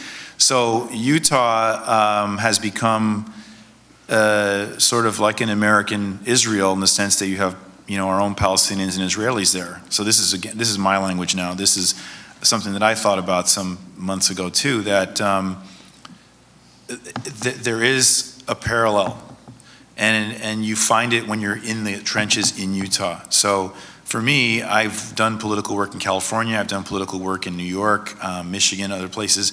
Nothing is like Utah. You know, it's a special place, right? Um, and um, it has had some better moments in its history as far as actual uh, openness, and there's been some Democratic governors and Democratic congressmen. Um, but right now, it's a very one-sided system that tries to do a lot of different things to exclude these voices that you're hearing today. So um, that's what I would say as far as part of the answer to your question. Uh, somebody else might have something. Else. Anyone else have any other? Would they like to address it? No? Okay. Okay. Um, well, if I could, because I think Robert maybe was just trying to be a little bit too gentle in his reply. Please. The, the experience of the, the tribes in the Ears region and, and then Utah, which Robert was kind of equating to Jerusalem, is not the experience of a shared um, spiritual place, which is what President Obama's proclamation sort of originally tried to create.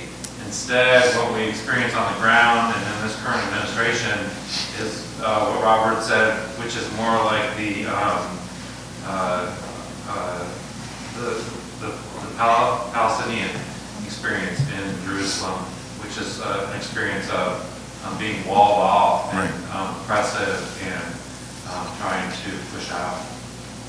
So right. just, uh, just kind of want to amplify and maybe sort of clarify what Robert said. All right, any other questions? Go ahead. For those of us that weren't here earlier in the day, not a full summary, just, uh, just an idea of what, what our move should be to help.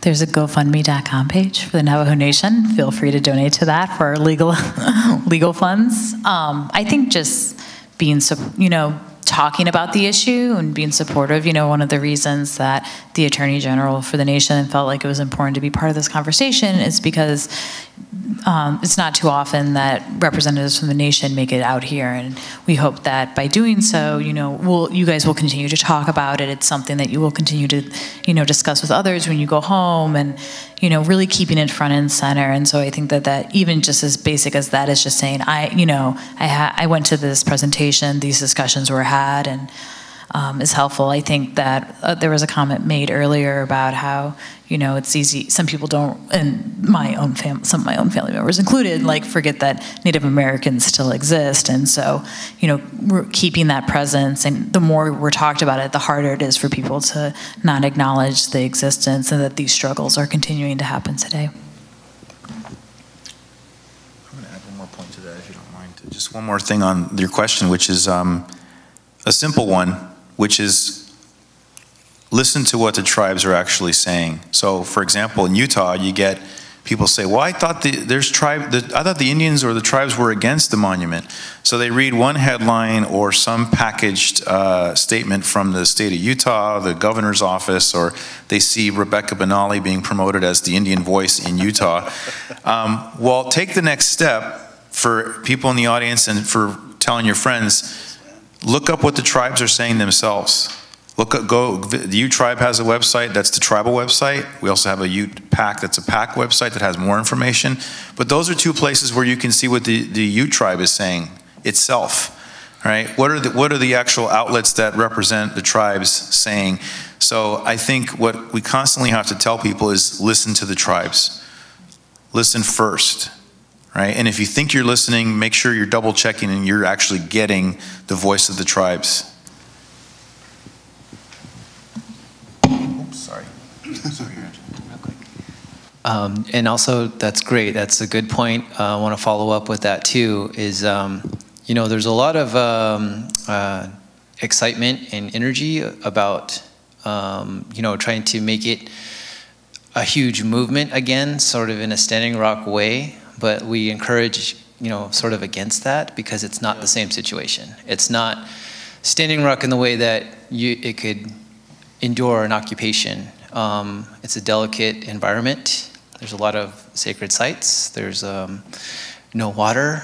like it's a very, there's a different set of circumstances there. And it's good to ask that question, how to be uh, supportive in this effort. And a lot of that right now is in with the courts. So to, you know, kind of help supporting that legal fund, but also the listening to the tribes piece is super important. And if we do have planning and we do have expectations of visitors, one of those um, outlets is you know the intertribal gathering that we have in the summer, which is in July, and which I invited everybody here to come to. But I think that's really important in, in terms of we know that's a temporary thing. We know that that's something that we're sharing openly. And you have all of the tribes there, and we can all tell you face to face how important it is, and then you can participate in that. So it's not, uh, it's not the same as having um, somebody else from a different source tell you what, what it's like and why Bears Ears is, is important. So I just wanted to follow that up in agreement with what they're saying. All right, um, go ahead. The, the doctrine of the trust document that, mm -hmm. that, uh, that certain special things, such as navigable waters, such as oceanfront property, are national things which are held in trust by the government mm-hmm. cannot be frittered away by that government. Must be held in trust for the people that benefit from it. And it seems to me that groundwater or, or, or drinkable water in the Standing Rock situation uh, are things which are so valuable that perhaps uh, an argument can be made. It may not be a successful argument this year. In 10 years, it might be a successful argument that these things should be held in trust, that the government is not allowed to give people permits to do things which would poison the water or which would uh, fill up plastic water bottles with the water taken from on the I, I think that's a very interest. It's an interesting take on it. The water um, I'm not a water lawyer, so I can't, there's a lot of very nuances that we have our own in-house attorneys. All they do is the water law litigation. Um, but I think it's an interesting idea. I think it's the way that the water law structure structures set up in the West, it's highly, highly regulated. Um, is you're nodding your head in awareness. So, but it's, I mean, it, it is an interesting idea. So I'll send you their email, and you can share that idea with them, and we'll win our cases. Okay, I think this will probably be the last question. Go ahead. Um, all the information you shared was really fascinating. Thank you so much for coming. Um, uh, my question was, um, everything we discussed, um, the, the, impact on uh, the Native peoples here in this uh, continental U.S. It, it, we, I understand that, um, but I also like to understand what impacts it have do you anticipate these changes to Bears Ears and um, the hopes that the Trump administration might come up for um, these monuments? How would it affect the individual lives of um, indigenous Native peoples, their families, communities? Do you anticipate this might uh, change the context of communities? Maybe some indigenous Native peoples might move to other communities. Is there a health threat? Um, what type of complications, issues do you anticipate or do you fear?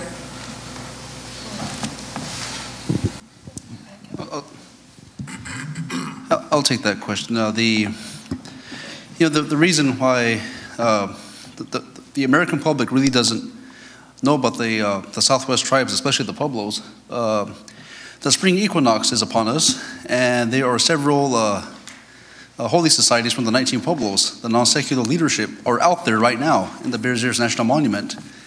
these ruins have active altars with permission, uh, Hovenweep uh, Pueblo uh, by the Colorado-Utah border, uh, the Pueblo San Felipe and Jemez are over there right now fasting, uh, the groups. And the Grand Staircase Escalante, Santa Ana Pueblo is out there right now as well. Uh, they're, they're, the holy societies are, are sequestered inside some of the ruins. They're fasting, they won't eat until the, the equinox is upon us.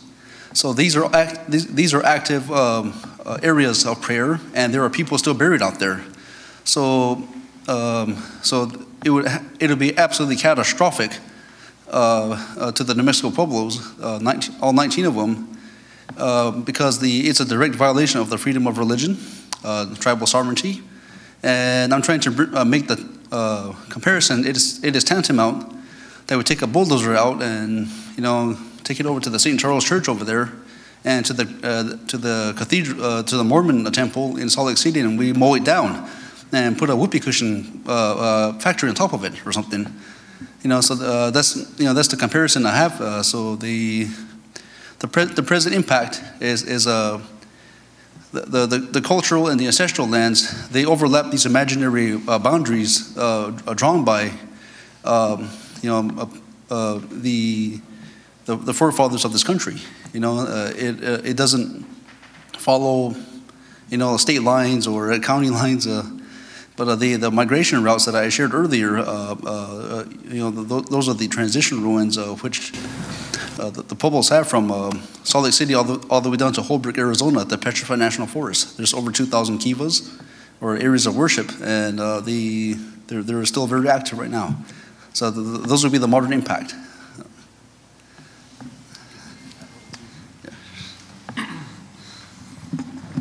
Uh, I think also one of the big paradigm shifts we're seeing is that there's kind of a movement towards state-centered uh, management of these types of places, right? And so instead of the geography being based on indigenous ways of, of viewing the landscape and understanding it, we're seeing it being divvied up by states. So for example, in, in the House Bill 4532, you have only the tribes from Utah that have a voice in how that particular area is managed.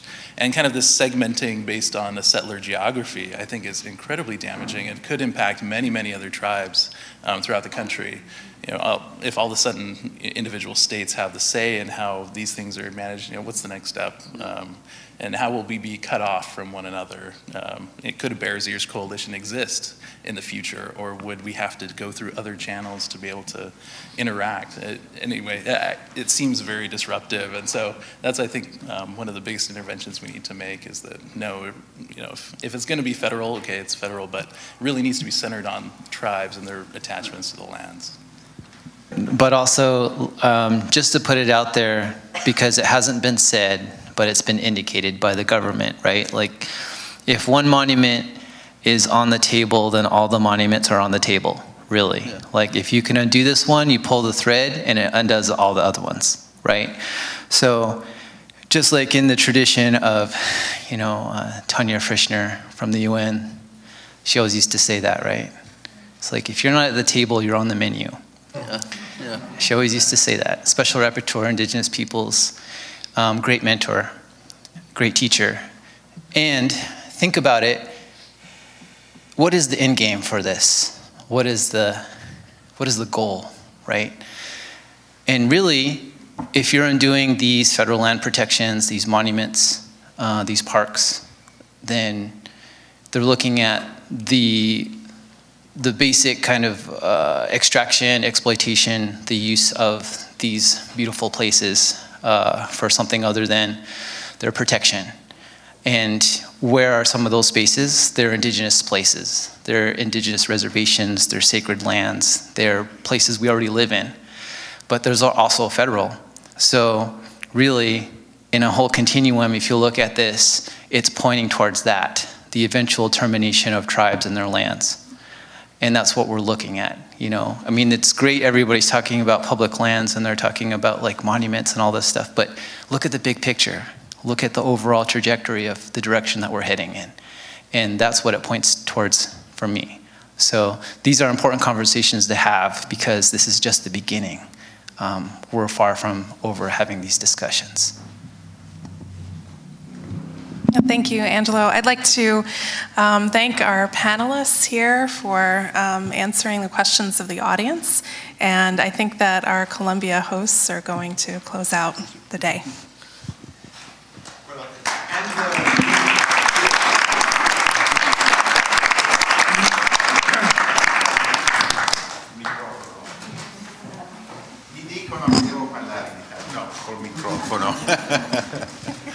um, as usual, um, Angelo put it on the line, um, you know, and the last question put it on the line. Uh, if one monument is at stake, all the others are at stake. So this is why we are putting our foot down right now. I can't thank all of you. First of all, our speakers, our moderators, but those of you who have stayed here all day long to help us do our best to put our foot down, say these kinds of actions must stop. We should move forward together. We should respect the tribal rights. We should do, those of us who come from the outside, we should continue that respect, but we must stand together in, as I say, putting our foot down and um, doing what we can. You have done an amazing job, both our speakers who've been quite wonderful, fascinating, absorbing, composed, full of eloquence. I can't thank you enough, but I'm also grateful that you have stayed here this afternoon. And so let's go and have a drink. Let's go and have a little bit to eat. Let's refresh ourselves. And I look forward to seeing you next year. We're going to do this again, and we're going to make it bigger, better, and more cutting and salient than ever. Thank you so much, all. Come back again. Thank you so much.